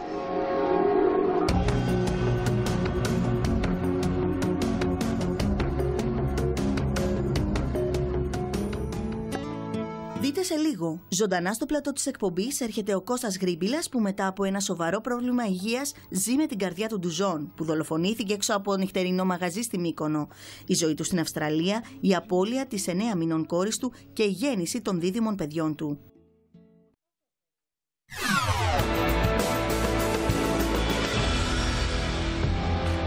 Λοιπόν, είμαι πολύ χαρούμενη που θα υποδεχτώ αυτόν που θα υποδεχτώ. Έχω διαβάσει όλα σας τα μηνύματα και όλα τα ερωτήματα που θέλετε να του θέσω. Όμως για μένα είναι μια συνάντηση που την περίμενα 1,5 χρόνο τώρα, γιατί αυτή η εκπομπή ήταν ουσιαστικά η εκπομπή που πρώτος εκείνος εμπιστεύτηκε τον ερχομό των διδήμων του. Και για δείτε πώς τα φέρνει η ζωή. 1,5 χρόνο μετά, ο Κώστας έρχεται εδώ κάπως έτσι.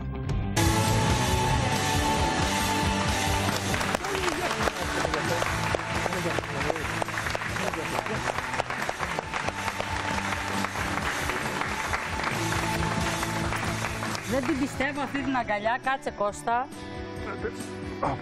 Δεν θα τα κρατήσουμε πολύ, θα τα βγάλουμε πιο μετά γιατί έχουμε να πούμε πολλά. Αλλά είναι μια εικόνα πάνω από χίλιες λέξεις. Ο κόσμος εδώ, ε, δύο-τρεις άνθρωποι ήταν και στην περσινή εκπομπή, αν θυμάμαι καλά. Θα μας τους συστήσεις; Λοιπόν, να ξεκινήσουμε από τη μεγαλύτερη κατά ένα λεπτό, η Στεφανία. και ο Εμμανουήλ. Η Πόπη είναι έξω για να κρατήσει τα μωρά. Ελπίζω έτσι στο τέλος να μπει και εκείνη λίγο. Θα το προσπαθήσουμε γιατί εμείς έχουμε να κάνουμε μια ουσιαστική κουβέντα εδώ και να πούμε πάρα πολλά. Κοιτάζω αυτά τα παιδιά στα μάτια, το είπα και πριν, το είπα και παρουσία της Πόπης, γιατί δεν ήθελα να το κρύψω όπως το νιώσα, πως το αγόρι μας μοιάζει πολύ στο κορίτσι που έφυγε από τη ζωή, στην Κωνσταντίνα μας. Εγώ λέω ο Εμμανουήλ είναι η αρσενική έκδοση της Κωνσταντίνας. Και αυτό μου δίνει κουράγιο, μου δίνει δύναμη ε, και ξεγελάω κάποια στιγμή στον εαυτό μου ότι την ώρα που φροντίζω τον Εμμανουήλ ότι έχω και την Κωνσταντίνα μου. Ξέρω ότι δεν είναι η Κωνσταντίνα, απλά λίγο ξεγελάω τον εαυτό μου. Και το παίζω αντροπαλός, ενώ τέρας. λοιπόν, είναι καταπληκτικά. Πάμε να δούμε ένα βίντεο που σου ετοιμάζαμε με όλες αυτές τις στιγμές που ζήσαμε μαζί και από εκεί και πέρα ε, θα βγάλουμε τα παιδάκια έξω για να κάνουμε την κουβέντα μας και στο τέλος θα είναι μια γιορτή και με την Πόπη και με τα παιδιά γιατί Κώστα μου είναι πολύ δύσκολο και το ξέρεις να διαχειριστώ μια κουβέντα δημόσια μαζί σου γιατί έχουμε κάνει πολλές φιλικές σε πολύ δύσκολες στιγμές και για μένα και για σένα. Και θέλω έτσι στο φίλο μας τον Γιώργο τον Παπαδόπουλο, το σκηνοθέτη, γιατί ήταν παρέα μας εκείνες τις δύσκολες στιγμές, να του στείλω μια μεγάλη αγκαλιά και μια μεγάλη αγάπη και να δει τον Κώστα σήμερα, το βιβλίο.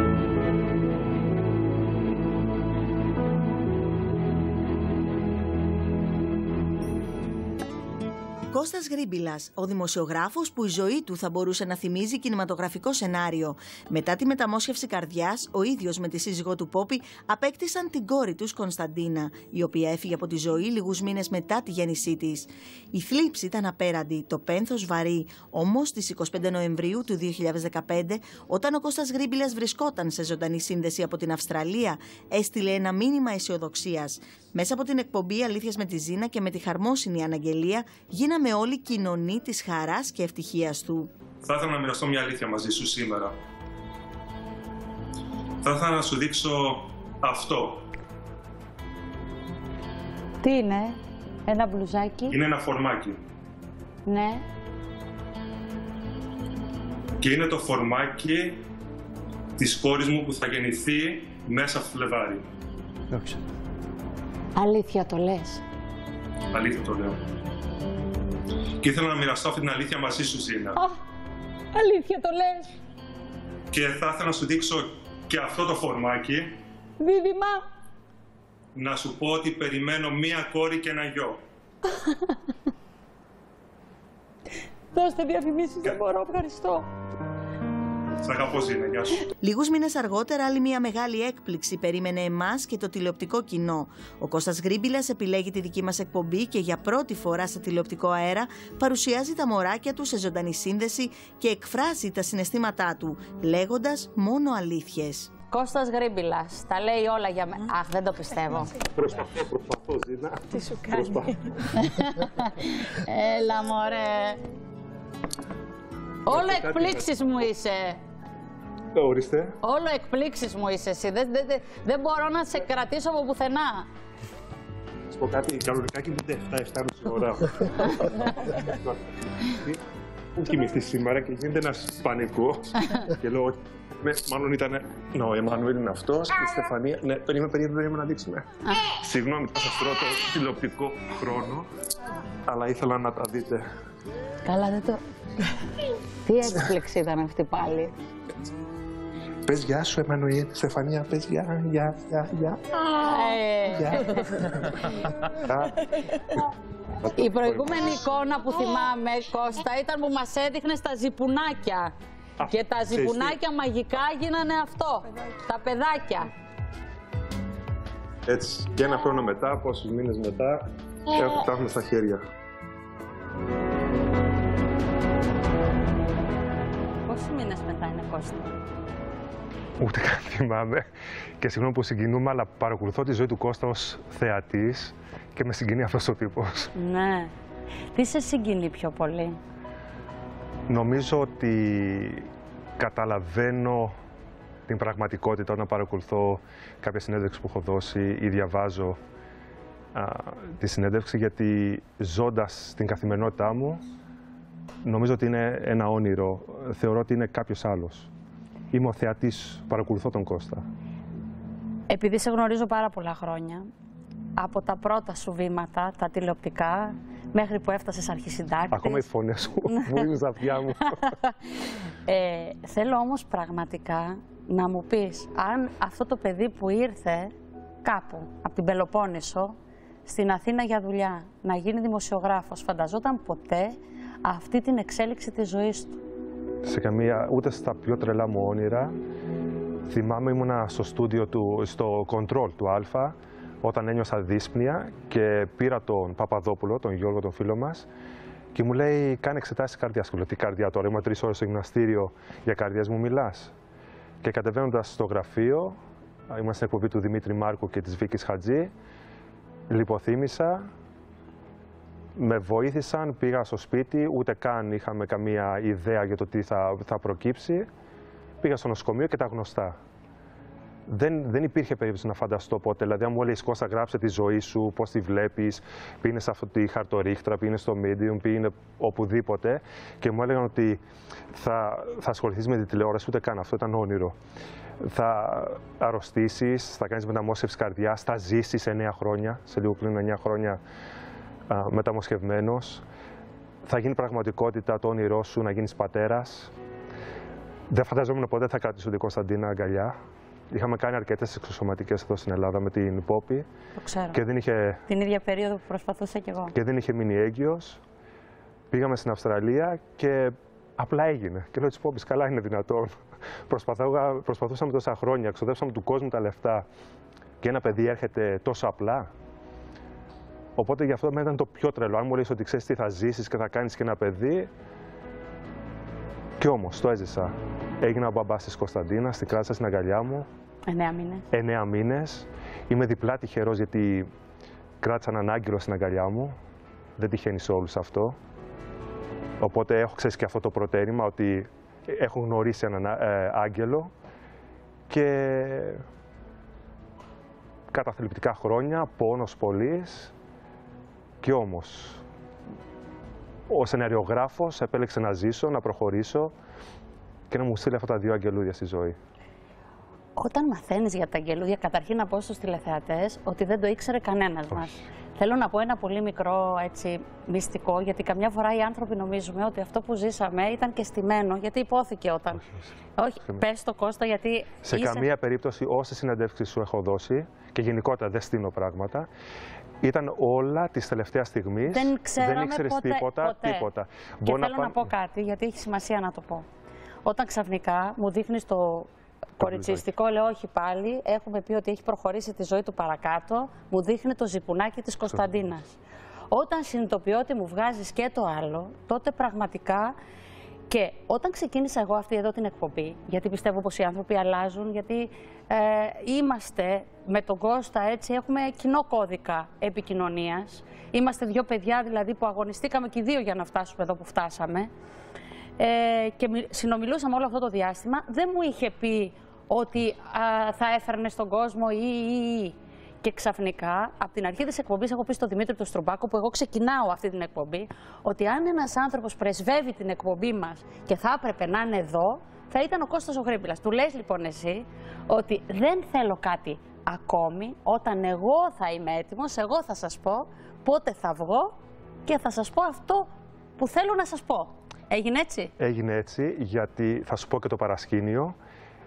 Πριν ανακοινώσουμε την εγκυμοσύνη της Πόπης, αυτές οι 14-16 εβδομάδες που είσαι ασφαλής να ανακοινώσεις, έτυχε να είναι τα δύο χρόνια α, από την κίνηση της Κωνσταντίνας. Οπότε είχαμε το μνημόσυνο. Και δεν ήθελα αυτό, η ευχάριστη ε, έκπληξη, το ευχάριστο γεγονός να πάρει από την Κωνσταντίνα.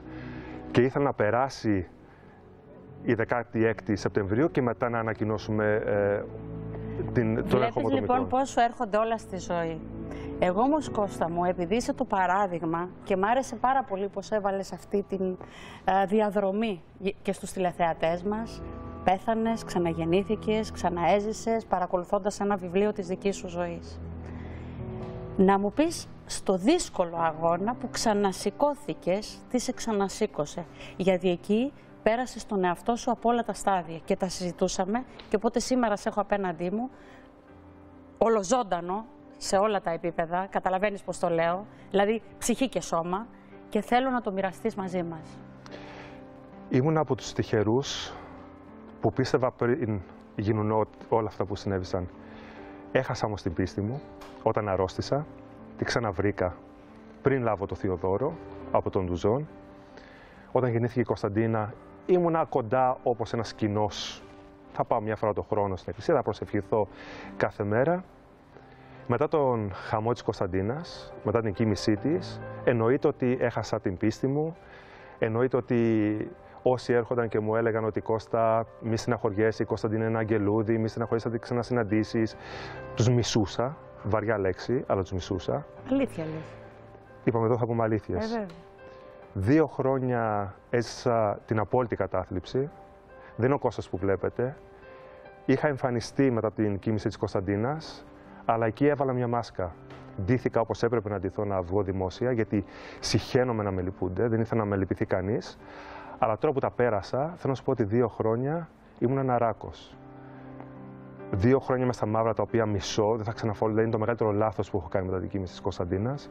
Αξίριστος, αλκοολικός, στο καναπέ, να τρώω χωρίς να σκέφτομαι, να με ενδιαφέρει τίποτα, να πηγαίνω κόντρα σε ό,τι ήταν καλό για μένα. Όμως βρέθηκαν δύο-τρει άνθρωποι δίπλα μου. Έτυχε να είναι ιερείς, ο πατήρ Σταύρος, ο, ο γέροντας Ευσέβιος, ο πατήρ Παναγιώτης και μου ξαναοδήγησαν σε αυτόν τον δρόμο της πίστης. Σε οδήγησαν εύκολα, Κώστας; Όχι, όχι, όχι. Και θα σου πω, πήγαινα στην εκκλησία και λατρεύω να πηγαίνω πλέον στην εκκλησία, να κάθομαι μόνος μου μέσα στο ιερό, ναό, μέσα στο, ναι. στο ιερό, γιατί εκεί δεν με βλέπει κανείς, μόνο εκείνος. Εκεί τον βρίζω. Είναι με αμαρτία αυτό που λέω. Εκεί νιώθω το απόλυτο μηδέν. Εκεί γίνομαι στάχτη. Όμως εκεί ξαναβρίσκω την δύναμη. Εκεί βλέπω τον άγγελό μου. Εκεί νιώθω την Παναγία δίπλα μου και με κρατάει. Αυτό είναι που με κράτησε, αυτό είναι που με κρατάει. Θέλω να ευχαριστήσω δημόσια. Λένε, α, έχεις παπά φίλο. Ναι, τον έχω. Ο πατής Σταύρος και ο Γιώργος Ευσέβιος είναι οι δύο άνθρωποι στους οποίους οφείλω το γεγονός ότι είμαι εδώ. Μου έδειξαν πάλι τον δρόμο και εμπιστεύτηκα την Παναγία. Την έχω νιώσει. Στο ιερό κάθομαι κάτω. Είμαι ένα σκουπίδι και έτσι πρέπει να νιώθουμε. Ξεχνάμε όταν είμαστε έξω στον κόσμο, όχι επειδή έχασα το παιδί μου. Γενικότερα πρέπει να συνειδητοποιούμε ότι είμαστε ένα τίποτα. Ήμουν ένας άχρηστος πατέρας. Ήμουν στο, στο νοσοκομείο, στο κρεβατάκι του παιδί μου και δεν μπόρεσα να το ζωντανεύσω. Μου είπαν ότι φεύγεις σε μερικά δευτερόλεπτα και έκανα τίποτα. Τι έκανα; Τι έπρεπε να κάνω. Τίποτα δεν είμαι. Έχω τη δύναμη. Έχω τη δύναμη, τη τραγούδισα. Την ανούρισα. αγαπημένο σου τραγούδι. Είμαστε ένα τίποτα. Είμαι ένας άχρηστος άνθρωπος.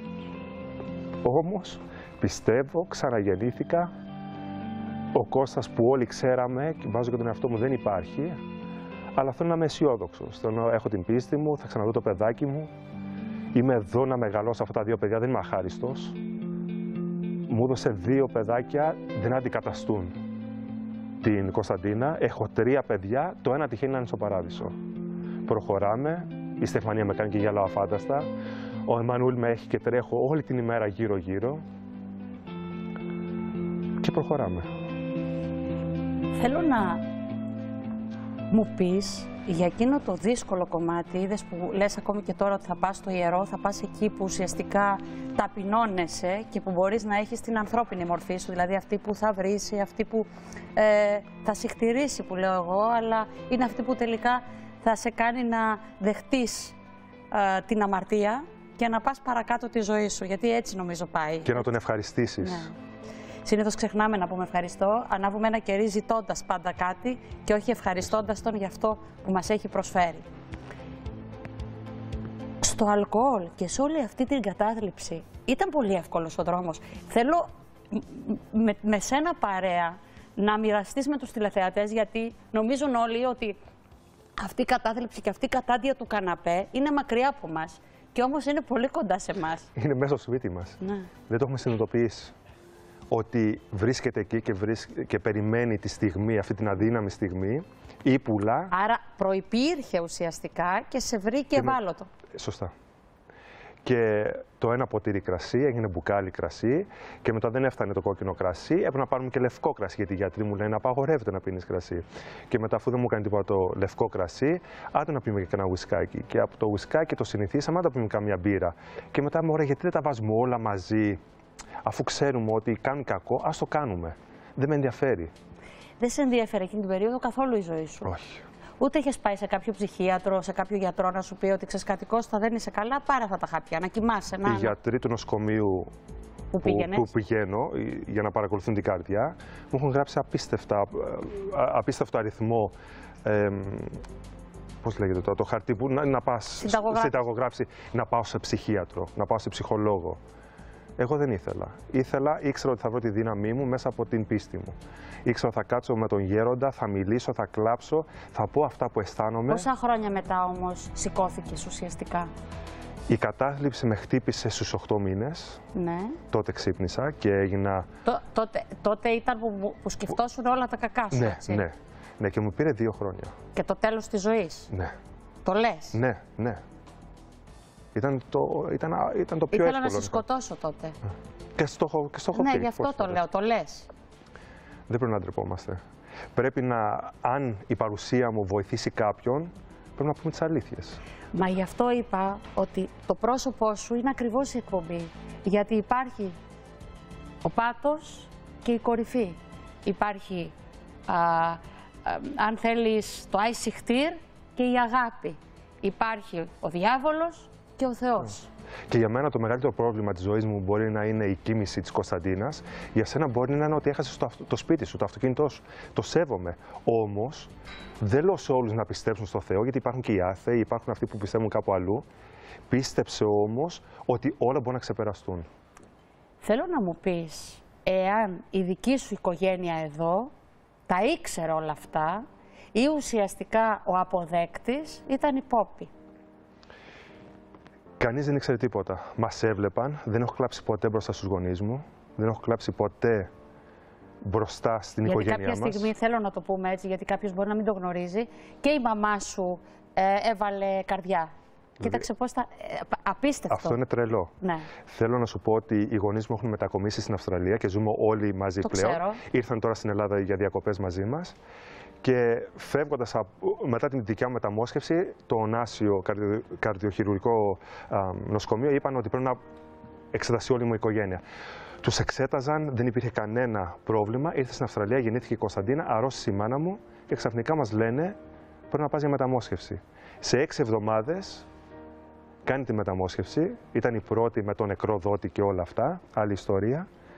Και φυσικά αυτό το γεγονός δεν Και αυτό το γεγονός με, με έκανε να κάτσω πίσω και να Πρώτα καταπιώ. το πρόβλημα η μαμά ή πρώτα έφυγε η Κωνσταντίνα; Έφυγε η Κωνσταντίνα, αρρώστησε. Και θέλω να σου πω, Ζήνα, γιατί θέλω να ξεκαθαρίσω, γιατί όπως λένε διάφορα πράγματα, και δεν τρέπομαι ότι έχω κάνει μεταμόσχευση καρδιάς, δεν τρέπομαι ότι η μητέρα μου έχει κάνει Ο μεταμόσχευση καρδιάς. Αλεβιζάτο ο γιατρό. Γιατί είχαμε πάει και είχαμε Μαζί πάει τον είχες, κιόλα. ναι. Θυμάσαι. Και η κυρία Γκουζιούτα. Δεν τρέπομαι, η αρρώστια δεν είναι ντροπή. Θέλω να πω όμως ότι μέχρι τώρα είναι πέντε διαφορετικές έρευνες που έχουν γίνει γονιδιακές. Δεν ξέρουμε ακόμη τον λόγο που έφυγε η Κωνσταντίνα. Ξέρουμε ότι η καρδιά της την παρέδωσε. Δεν ξέρουμε γιατί έκανε μεταμόσχευση η μάνα μου. Δεν ξέρουμε γιατί έκανα μεταμόσχευση εγώ.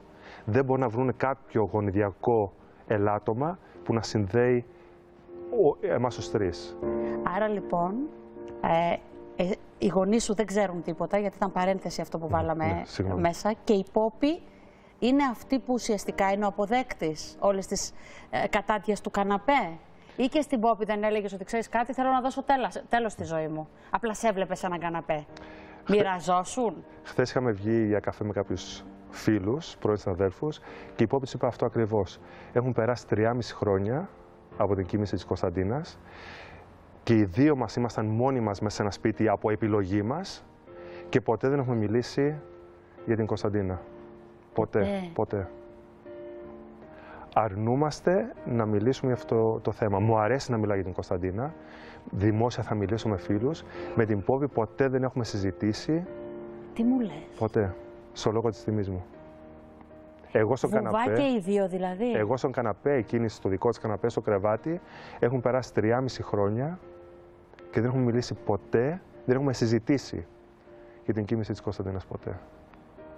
Η Πόπη πίστευε ότι θα έρθουν άλλα παιδιά στη ζωή σας; Ή επειδή είχε και το πρόβλημα με τις εξωσωματικές και δεν μπορούσε να κάνει παιδιά, είπε τυχαίο ότι ήρθε όπως και στη δική μου την περίπτωση η αίμα σιγά τώρα, να μην έρθουν και άλλα παιδιά, γιατί σας έφερε δίδυμα. Ε; Δεν το πιστεύαμε ότι, και δεν το πίστευε εκείνη ότι θα έχουμε άλλα παιδιά, θα κάνουμε άλλα παιδιά, αλλά και οι δύο το θέλαμε πολύ. Είπαμε ότι αν πρέπει να μείνουμε σε αυτόν τον κόσμο, χρειαζόμαστε έναν άγγελο δίπλα μας να μας βοηθήσει, όχι να σηκώσει εκείνος το σταυρό ή εκείνη, το, το καινούριο παιδί που θα έρθει, αλλά να μας βοηθήσει, να το βλέπουμε και να λέμε ας το σταυρό λίγο, τρέξει να πιάσει τον Εμμανουήλ, τρέξει να πιάσει τη Στεφανία και μετά το βράδυ ξανασήκω το σταυρό σου. Θέλω να πάμε σε διαφημίσεις. Και όταν επιστρέψουμε, θέλω να μου πεις για ποιο λόγο πιστεύεις πως η Κωνσταντίνα είναι άγγελος, πέρα από ότι όλα τα παιδιά είναι άγγελοι που φεύγουν. Ε, γιατί κάτι νομίζω πως νιώθεις. Νομίζω πως το νιώθεις. Λοιπόν, πάμε σε διαφημίσεις και σας έχουμε υποσχεθεί ότι στο τέλος θα κλείσουμε ως μια έτσι γλυκιά οικογένεια, καθώς και η Πόπη είναι εδώ και τα παιδιά είναι εδώ. Και έχουμε να πούμε και κάτι πολύ σημαντικό, που εγώ πραγματικά θα είμαι εδώ για να το καταφέρουμε και για να το πετύχουμε. Μετά τις διαφημίσεις θα σας τα πούμε όλα.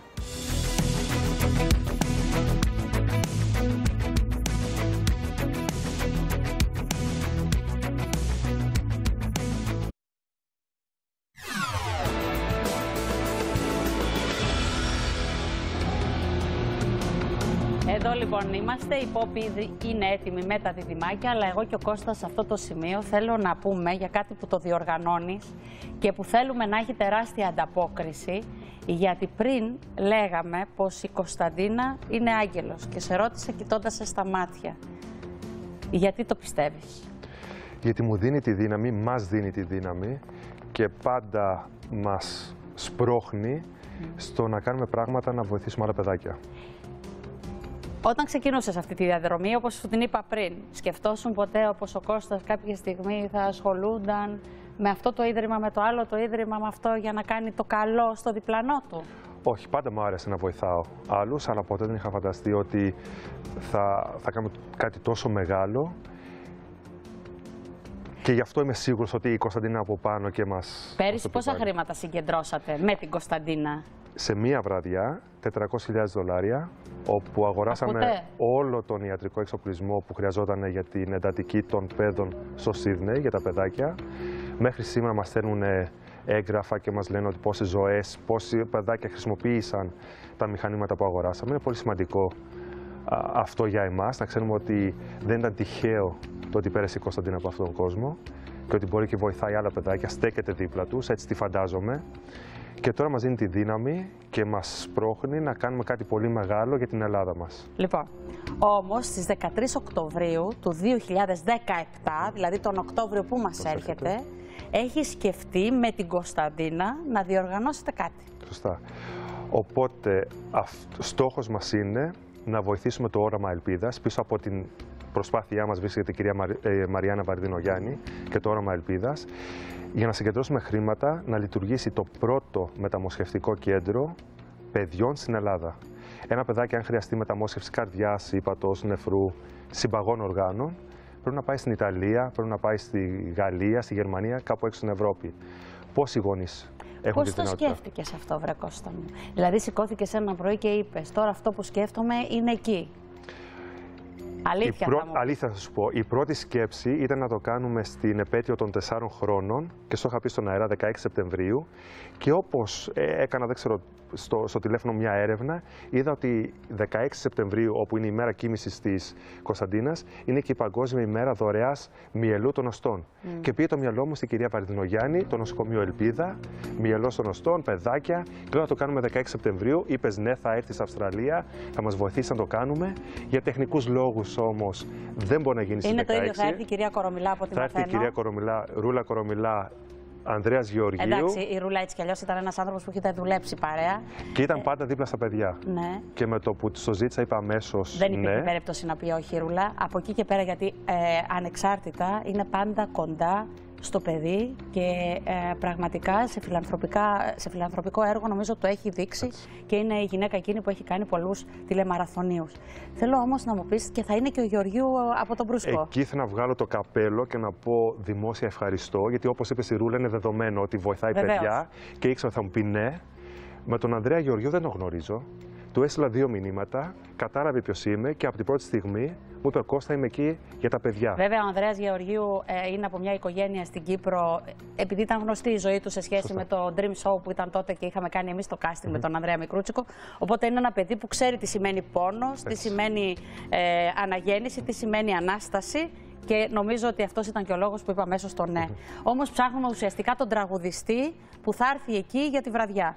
Χρειαζόμαστε κάποιους να μας βοηθήσουν. Χρειαζόμαστε τη Ρούλα, χρειαζόμαστε τον Ανδρέα, χρειαζόμαστε έναν τραγουδιστή να, να δώσει και στους ομογενείς. Είναι έτοιμοι οι ομογενείς γύρω από όλη την Αυστραλία. Λοιπόν, κοίταξε να δεις τώρα πώς μου ήρθε, γιατί έτσι μου κάθεται και δεν ξέρω ε, αν θα μας προκύψει και πώς θα μας προκύψει. Υπάρχουν πολλοί που εκείνο το διάστημα ενδεχομένως, γιατί το 13 Οκτωβρίου είναι πολύ κοντά. Εμείς πάντως θα φροντίσουμε εδώ ο μαραθώνιος που διεξάγεται στην Αυστραλία, στην Ομογένεια, να γίνει την ίδια μέρα και εδώ. Εκεί βέβαια θα είναι βράδυ, εδώ θα είναι πρωί. Πρέπει Τέλεια, κάπως να τέλεια, ενώσουμε τέλεια. ε, τις ώρες μας, να βάλουμε και εμείς έναν ελληνικό αριθμό και έναν αριθμό λογαριασμού, ε, το ίδιο και εσείς εκεί, οπότε αυτό όλο να γιγαντωθεί και να γίνει τεράστιο. Θα είναι μεγάλη μας χαρά να προκύψει κάτι τέτοιο και πραγματικά νιώθω πως με αυτόν τον τρόπο είναι ένας άγγελος η Κωνσταντίνα, γιατί ουσιαστικά είναι αυτό που κάποια στιγμή είχα πει και στον Κώστα το Γιαννόπουλο για τον Ανδρέα. Ένα παιδί που ήρθε και έζησε μέχρι τα 10 του χρόνια και δημιούργησε Το πίσω χαμόγελο του του παιδιού. ένα τεράστιο όραμα. Είναι ένα κορίτσι που ήρθε και έζησε 9 μήνες και όμως αφήνει έργο είτε με 400.000 δολάρια για τα παιδιά, είτε αυτό που θα γίνει τώρα και άλλα που θα ακολουθήσουν. Ε, τα μωράκια σου είναι έξω. Εγώ όμως σε αυτό το σημείο, ε, μέχρι να το οργανώσουμε και να το δούμε, υπάρχει η Άννα Βύση που παραχώρησε μια συνέντευξη. Και που ξέρεις, μπορεί να είναι η Άννα Βύση αυτή που θα Μακάρι. έρθει στην Αυστραλία. Και νομίζω, αν δεν έχει καμιά δουλειά τότε, να της το προτείνετε. Νομίζω και εκείνη είναι πολύ κοντά στα παιδιά.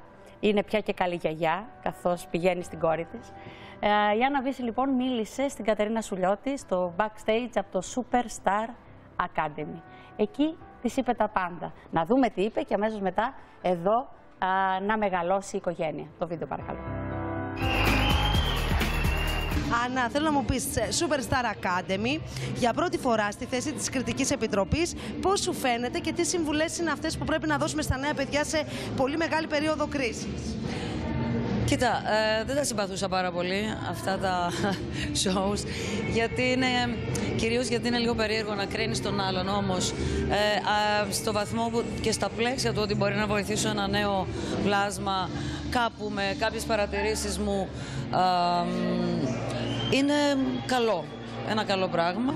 Η συνεργασία με Νίκο Καρβέλα, σας βλέπουμε για πρώτη φορά δύο τόσο μεγάλα δυνατά ονόματα μέσα στη θέση. Αυτό δεν είναι συνεργασία, συνύπαρξη είναι σε ένα πάνελ που είναι χαρά μου. Μ' αρέσουν αυτά που λέει ο Νίκος. Και εγώ είμαι μεγάλη του φαν, αλλά και πάρα πολλοί κόσμος. Υπάρχει δυνατότητα σε περίοδο κρίσης, Άννα, αυτά τα παιδιά να γίνουν κάποτε αναβήσει τώρα, αυτή την περίοδο με τη δισκογραφία σε κρίση, με τα όνειρα σε κρίση. Με μια... Κάτι, το θέμα δεν είναι να γίνει κανένας κάτι άλλο. Αυτά που λέμε τα λίγο έτσι, μ, όχι τυπικά ρε παιδί μου, εμ, δεν, δε- το, το νόημα και ο στόχος δεν είναι να γίνει κάποιος α, Δημήτρης Μητροπάνος ή να γίνει α, Χάρης Αλεξίου ή να γίνει Αναβίση όπως είπες. Το θέμα είναι κάθε άτομο που αισθάνεται ότι κάτι έχει μέσα του να, ε, να δώσει σαν ερμηνευτής και σαν εκφραστής της ίδιας του της ύπαρξης να βρει το δρόμο του. Ε, νομίζω ότι αυτό ψάχνει ο περισσότερος κόσμος, κάπου να έχει ένα ρόλο σε αυτή τη ζωή που βρέθηκε, που να είναι ξεχωριστός. Σοφία και δύο εγγονάκια. Θέλω να μου πεις πλέον χαρά, συναισθήματα, αν έχει αλλάξει όλο αυτό τη ζωή σου. Εννοείται ότι αλλάζει τη ζωή του καθενός σε ό,τι στάδιο και αν βρίσκεται. Κάποτε ήμουνα κόρη και ήταν η μάνα μου. Μετά έγινα μάνα και ήταν η κόρη μου. Τώρα είμαι η μάνα που βλέπει την κόρη της να αποκτάει δύο παιδιά και γίνομαι γιαγιά. Μακάρι να φτάσω σε αυτή τη ζωή να γίνω και προγιαγιά. Τα όνειρά σου, έχεις φτάσει σε αυτό στο απόλυτο. Θέλω να μου πεις, έχεις όνειρα άλλα, Άννα. Ε, έχεις κάνει την, α, ξέρω εγώ, την α, τεράστια επαγγελματική καριέρα. Ε, έχεις αποκτήσει όντως εγγονάκι, έχεις μια πανέμορφη κόρη που ζει στην Αμερική. Έχεις άλλα όνειρα.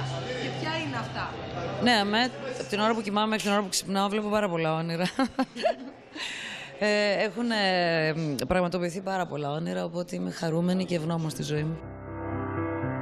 Εδώ λοιπόν ακούσαμε τι είπε η Άννα Βύση. Από εκεί και πέρα, Κώστα μου, εσύ οργανώνεις αυτό 13 Οκτωβρίου του 2017, δηλαδή η έναρξη της δικής μας α, σεζόν και ουσιαστικά ε, θα βάλεις το λιθαράκι σου για να γίνει το πρώτο εθνικό. Πρώτο μεταμοσχευτικό κέντρο συμπαγών οργάνων για παιδιά στην Ελλάδα. Είναι μια πολύ σημαντική πρωτοβουλία. Εδώ έχουμε τα δύο διδυμάκια που ήρθαν ουσιαστικά μετά την Κωνσταντίνα στη ζωή σας.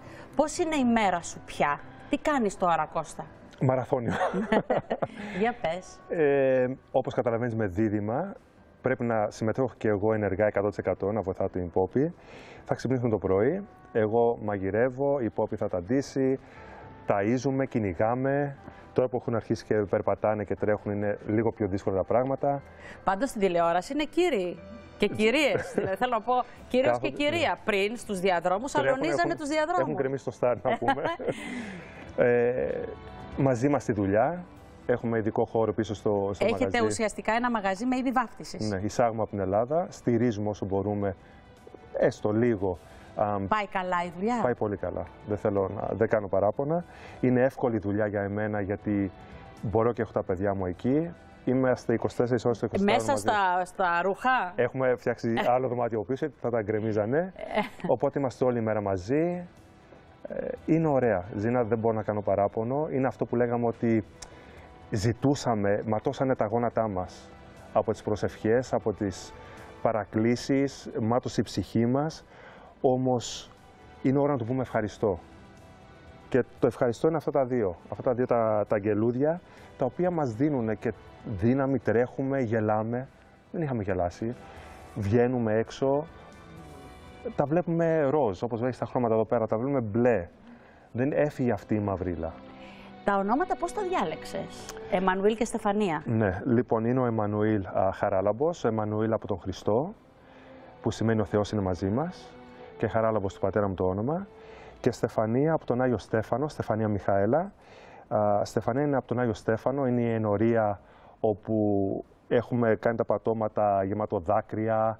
Ε, είμαστε εκεί όπου παντρευτήκαμε πριν χρόνια χωρίς να ξέρουμε ότι Ναι. τι θα προκύψει.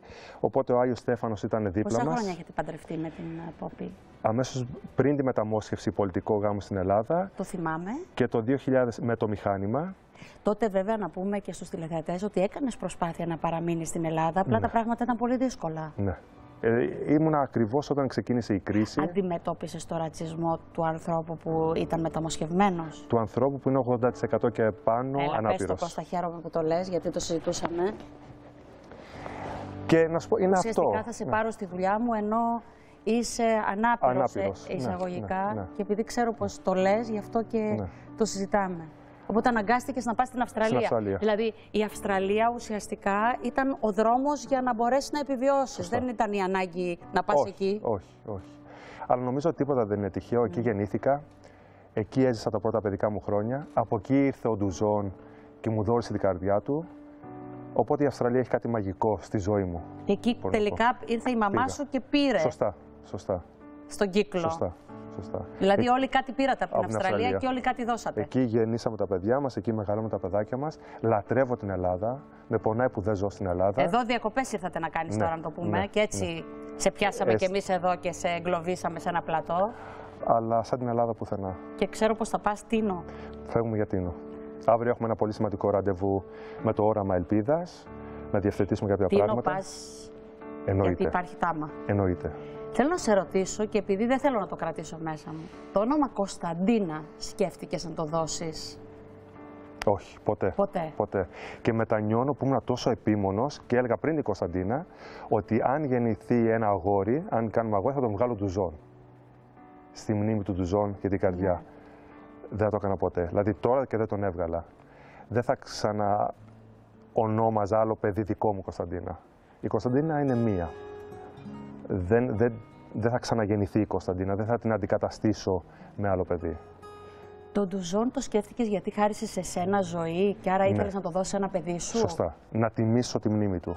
Και η Κωνσταντίνα γι' αυτό πήρε το όνομα. Το όνομα της Κωνσταντίνας ήταν Κωνσταντίνα Αγγελική. Κωνσταντίνα από εμένα και Αγγελική από τον Άγγελο, τον Άγγελο των Ντουζών. Και της έλεγα της Πόπης: Σου αφήνω διαθήκη. Το παιδί θα μάθει ελληνικά, θα πιστεύει στο Θεό και όποιος τη ρωτάει για το όνομά της θα λέει ότι έχω δύο μπαμπάδες. Τον Κώστα, και γι' αυτό με ονομάζει Κωνσταντίνα, και Αγγελική από τον Άγγελο Ντουζών. Γιατί όπως κάθε γονιός πιστεύω ότι θα φύγει πριν το παιδί του. Και ήθελα να ξέρει το παιδί μου ότι για εκείνη να έρθει στη ζωή χρειάστηκαν δύο μπαμπάδες. Μου είπες πριν ότι ουσιαστικά ποτέ δεν μάθατε τι ήταν αυτό που έκανε την Κωνσταντίνα να φύγει από τη ζωή. Σε βασανίζει ακόμη αυτό, δηλαδή θα ήθελες να ξέρεις το γιατί, γιατί πρέπει να το ξέρεις. Πλέον όχι, αλλά δεν σταματάμε τις έρευνες. Δεν με ενδιαφέρει γιατί ξέρω ότι δεν πρόκειται να έρθει πίσω η Κωνσταντίνα. Το έχω αποδεχθεί αυτό. Ξέρω που βρίσκεται. Θέλω όμως διακαώς να μάθω, γιατί αν είναι κάτι, γιατί πρέπει να είναι γονιδιακό, μην κορεδευόμαστε, να σώσω αυτά. Κάθε έξι μήνες κάνουμε τις εξετάσεις που έκανε και η Κωνσταντίνα. Οι καρδούλες τους είναι ο- εντάξει, όμως δεν ξέρουμε ποτέ τι μπορεί να συμβεί και γι' αυτό θέλω να μάθω πάση θυσία τι είναι αυτό το πράγμα που μας σκοτώνει για να σώσω αν μπορώ αυτά. Δεν, δεν θέλω να Μα και η ξανανιώσω μαμά σου άχρηστος. όμως, α, Δεν, ξε- δεν θέλω να ξανανιώσω άχρηστος πατέρας. Αν μπορώ κάτι να κάνω για αυτά, είναι να διορθώσω το λάθος μου με την Κωνσταντίνα. Σου είπα στην αρχή, ήμουν, είμαι ένας άχρηστος, ένας τυποτένιος. Έκανα τα πάντα πριν γεννηθεί. Να δω και να είμαι σίγουρος ότι θα γεννηθεί υγιής. Και το κάναμε αυτό. Και ήταν υγιής μέχρι που μας άφησε. Σε αυτά λοιπόν πρέπει να είμαι προληπτικός πέντε φορές, εκατό φορές περισσότερο, να προσπαθήσω να βρω την αιτία γιατί έφυγε η Κωνσταντίνα, γιατί έχω κάνει εγώ μεταμόσχευση, γιατί άρρωσε η μητέρα μου και αν γίνεται να βρούμε και να ανοιχνεύσουμε αν τα παιδάκια μου αυτά το έχουν και να μας πούνε οι επιστήμονες ότι με αυτόν τον τρόπο μπορούμε να τα προφυλάξουμε. Θέλω να αποδείξω σε αυτά και όχι σε κανέναν άλλον ότι ο Κώστας ως πατέρας έκανε κάτι. Δεν θέλω να τους αφήσω σπίτια, δεν θέλω να τους αφήσω τίποτα. Θέλω να βρω αυτό το ρημαδιασμένο γονίδιο που δεν μπορούν να το βρουν ακόμη οι γιατροί. Τι είναι αυτό που μας σκοτώνει, γιατί θα πρέπει να σκότωσε την Κωνσταντίνα, να σώσω αυτά τα αγγελούδια. Αυτός είναι ο στόχος μου, αυτός είναι ο σκοπός μου. Κώστα θέλω έτσι να κάνουμε παρέα ένα συναισθηματικό παιχνίδι, έτσι το λέω εγώ. Να σε ρωτάω διάφορα πράγματα και ουσιαστικά ε, να μου απαντάς με το δικό σου αληθινό τρόπο, όπως το νιώθεις από μέσα σου. Αν σου λέγα σήμερα για ποιον χτυπάει η καρδιά σου, για ποιον θα μου λέγεις. Για την Κωνσταντίνα.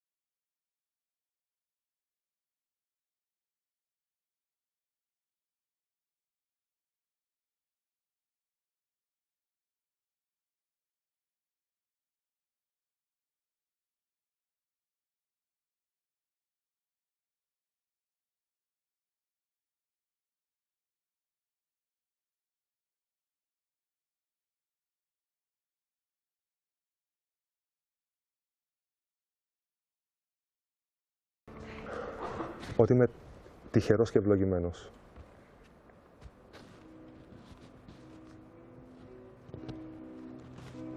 Αν έπρεπε σε έναν άνθρωπο στη ζωή σου να πεις ένα πολύ μεγάλο ευχαριστώ, σε ποιον θα ήταν; Στον Θεάνθρωπο.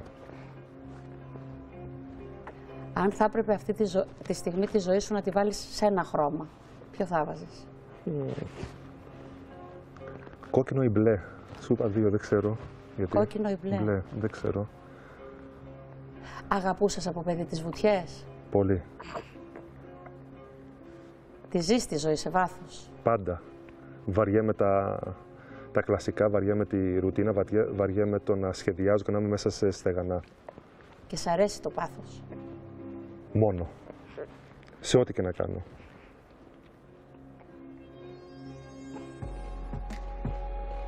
Τώρα κάτι Πάντως είμαι σίγουρη πως σήμερα μοιράστηκες όλες σου τις αλήθειες. Ε, ενώ ξέρεις πως κάποιες είναι πολύ σκληρές. Αυτό όμως το έχουν οι άνθρωποι που ζουν με πάθος και βουτούν βαθιά στη ζωή. Να το ξέρεις. Δεν σε φοβάμαι λοιπόν. Δεν φοβάσαι κανένα μπάτο, κανένα βυθό.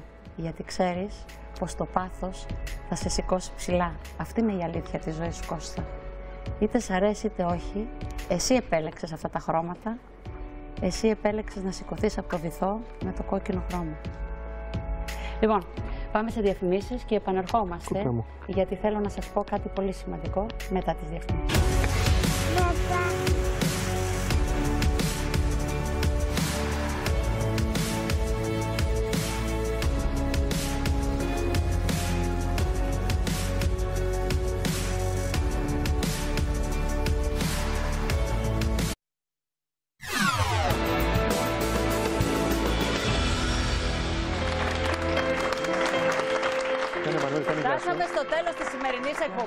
Προσπαθούμε εδώ για να μας γεια. πει ο Εμμανουήλ και η Κωνσταντίνα. Γεια. Γεια. Κάνεις να και εσύ. Ε, α, έκανα λάθος, ε. Είπα Κωνσταντίνα. Άκουσε. Ο άκουσα. Εμμανουήλ και η Και η Κωνσταντίνα. Πω, πω. Ο Εμμανουήλ και η Στεφανία. Κάνε γεια σας. Για πάμε. Γεια σας. Γεια. Εμμανουήλ. Μπράβο αγάπη μου, δώσ' το. Έλα μπράβο. Λοιπόν, Κώστα μου σε ευχαριστώ πάρα πολύ.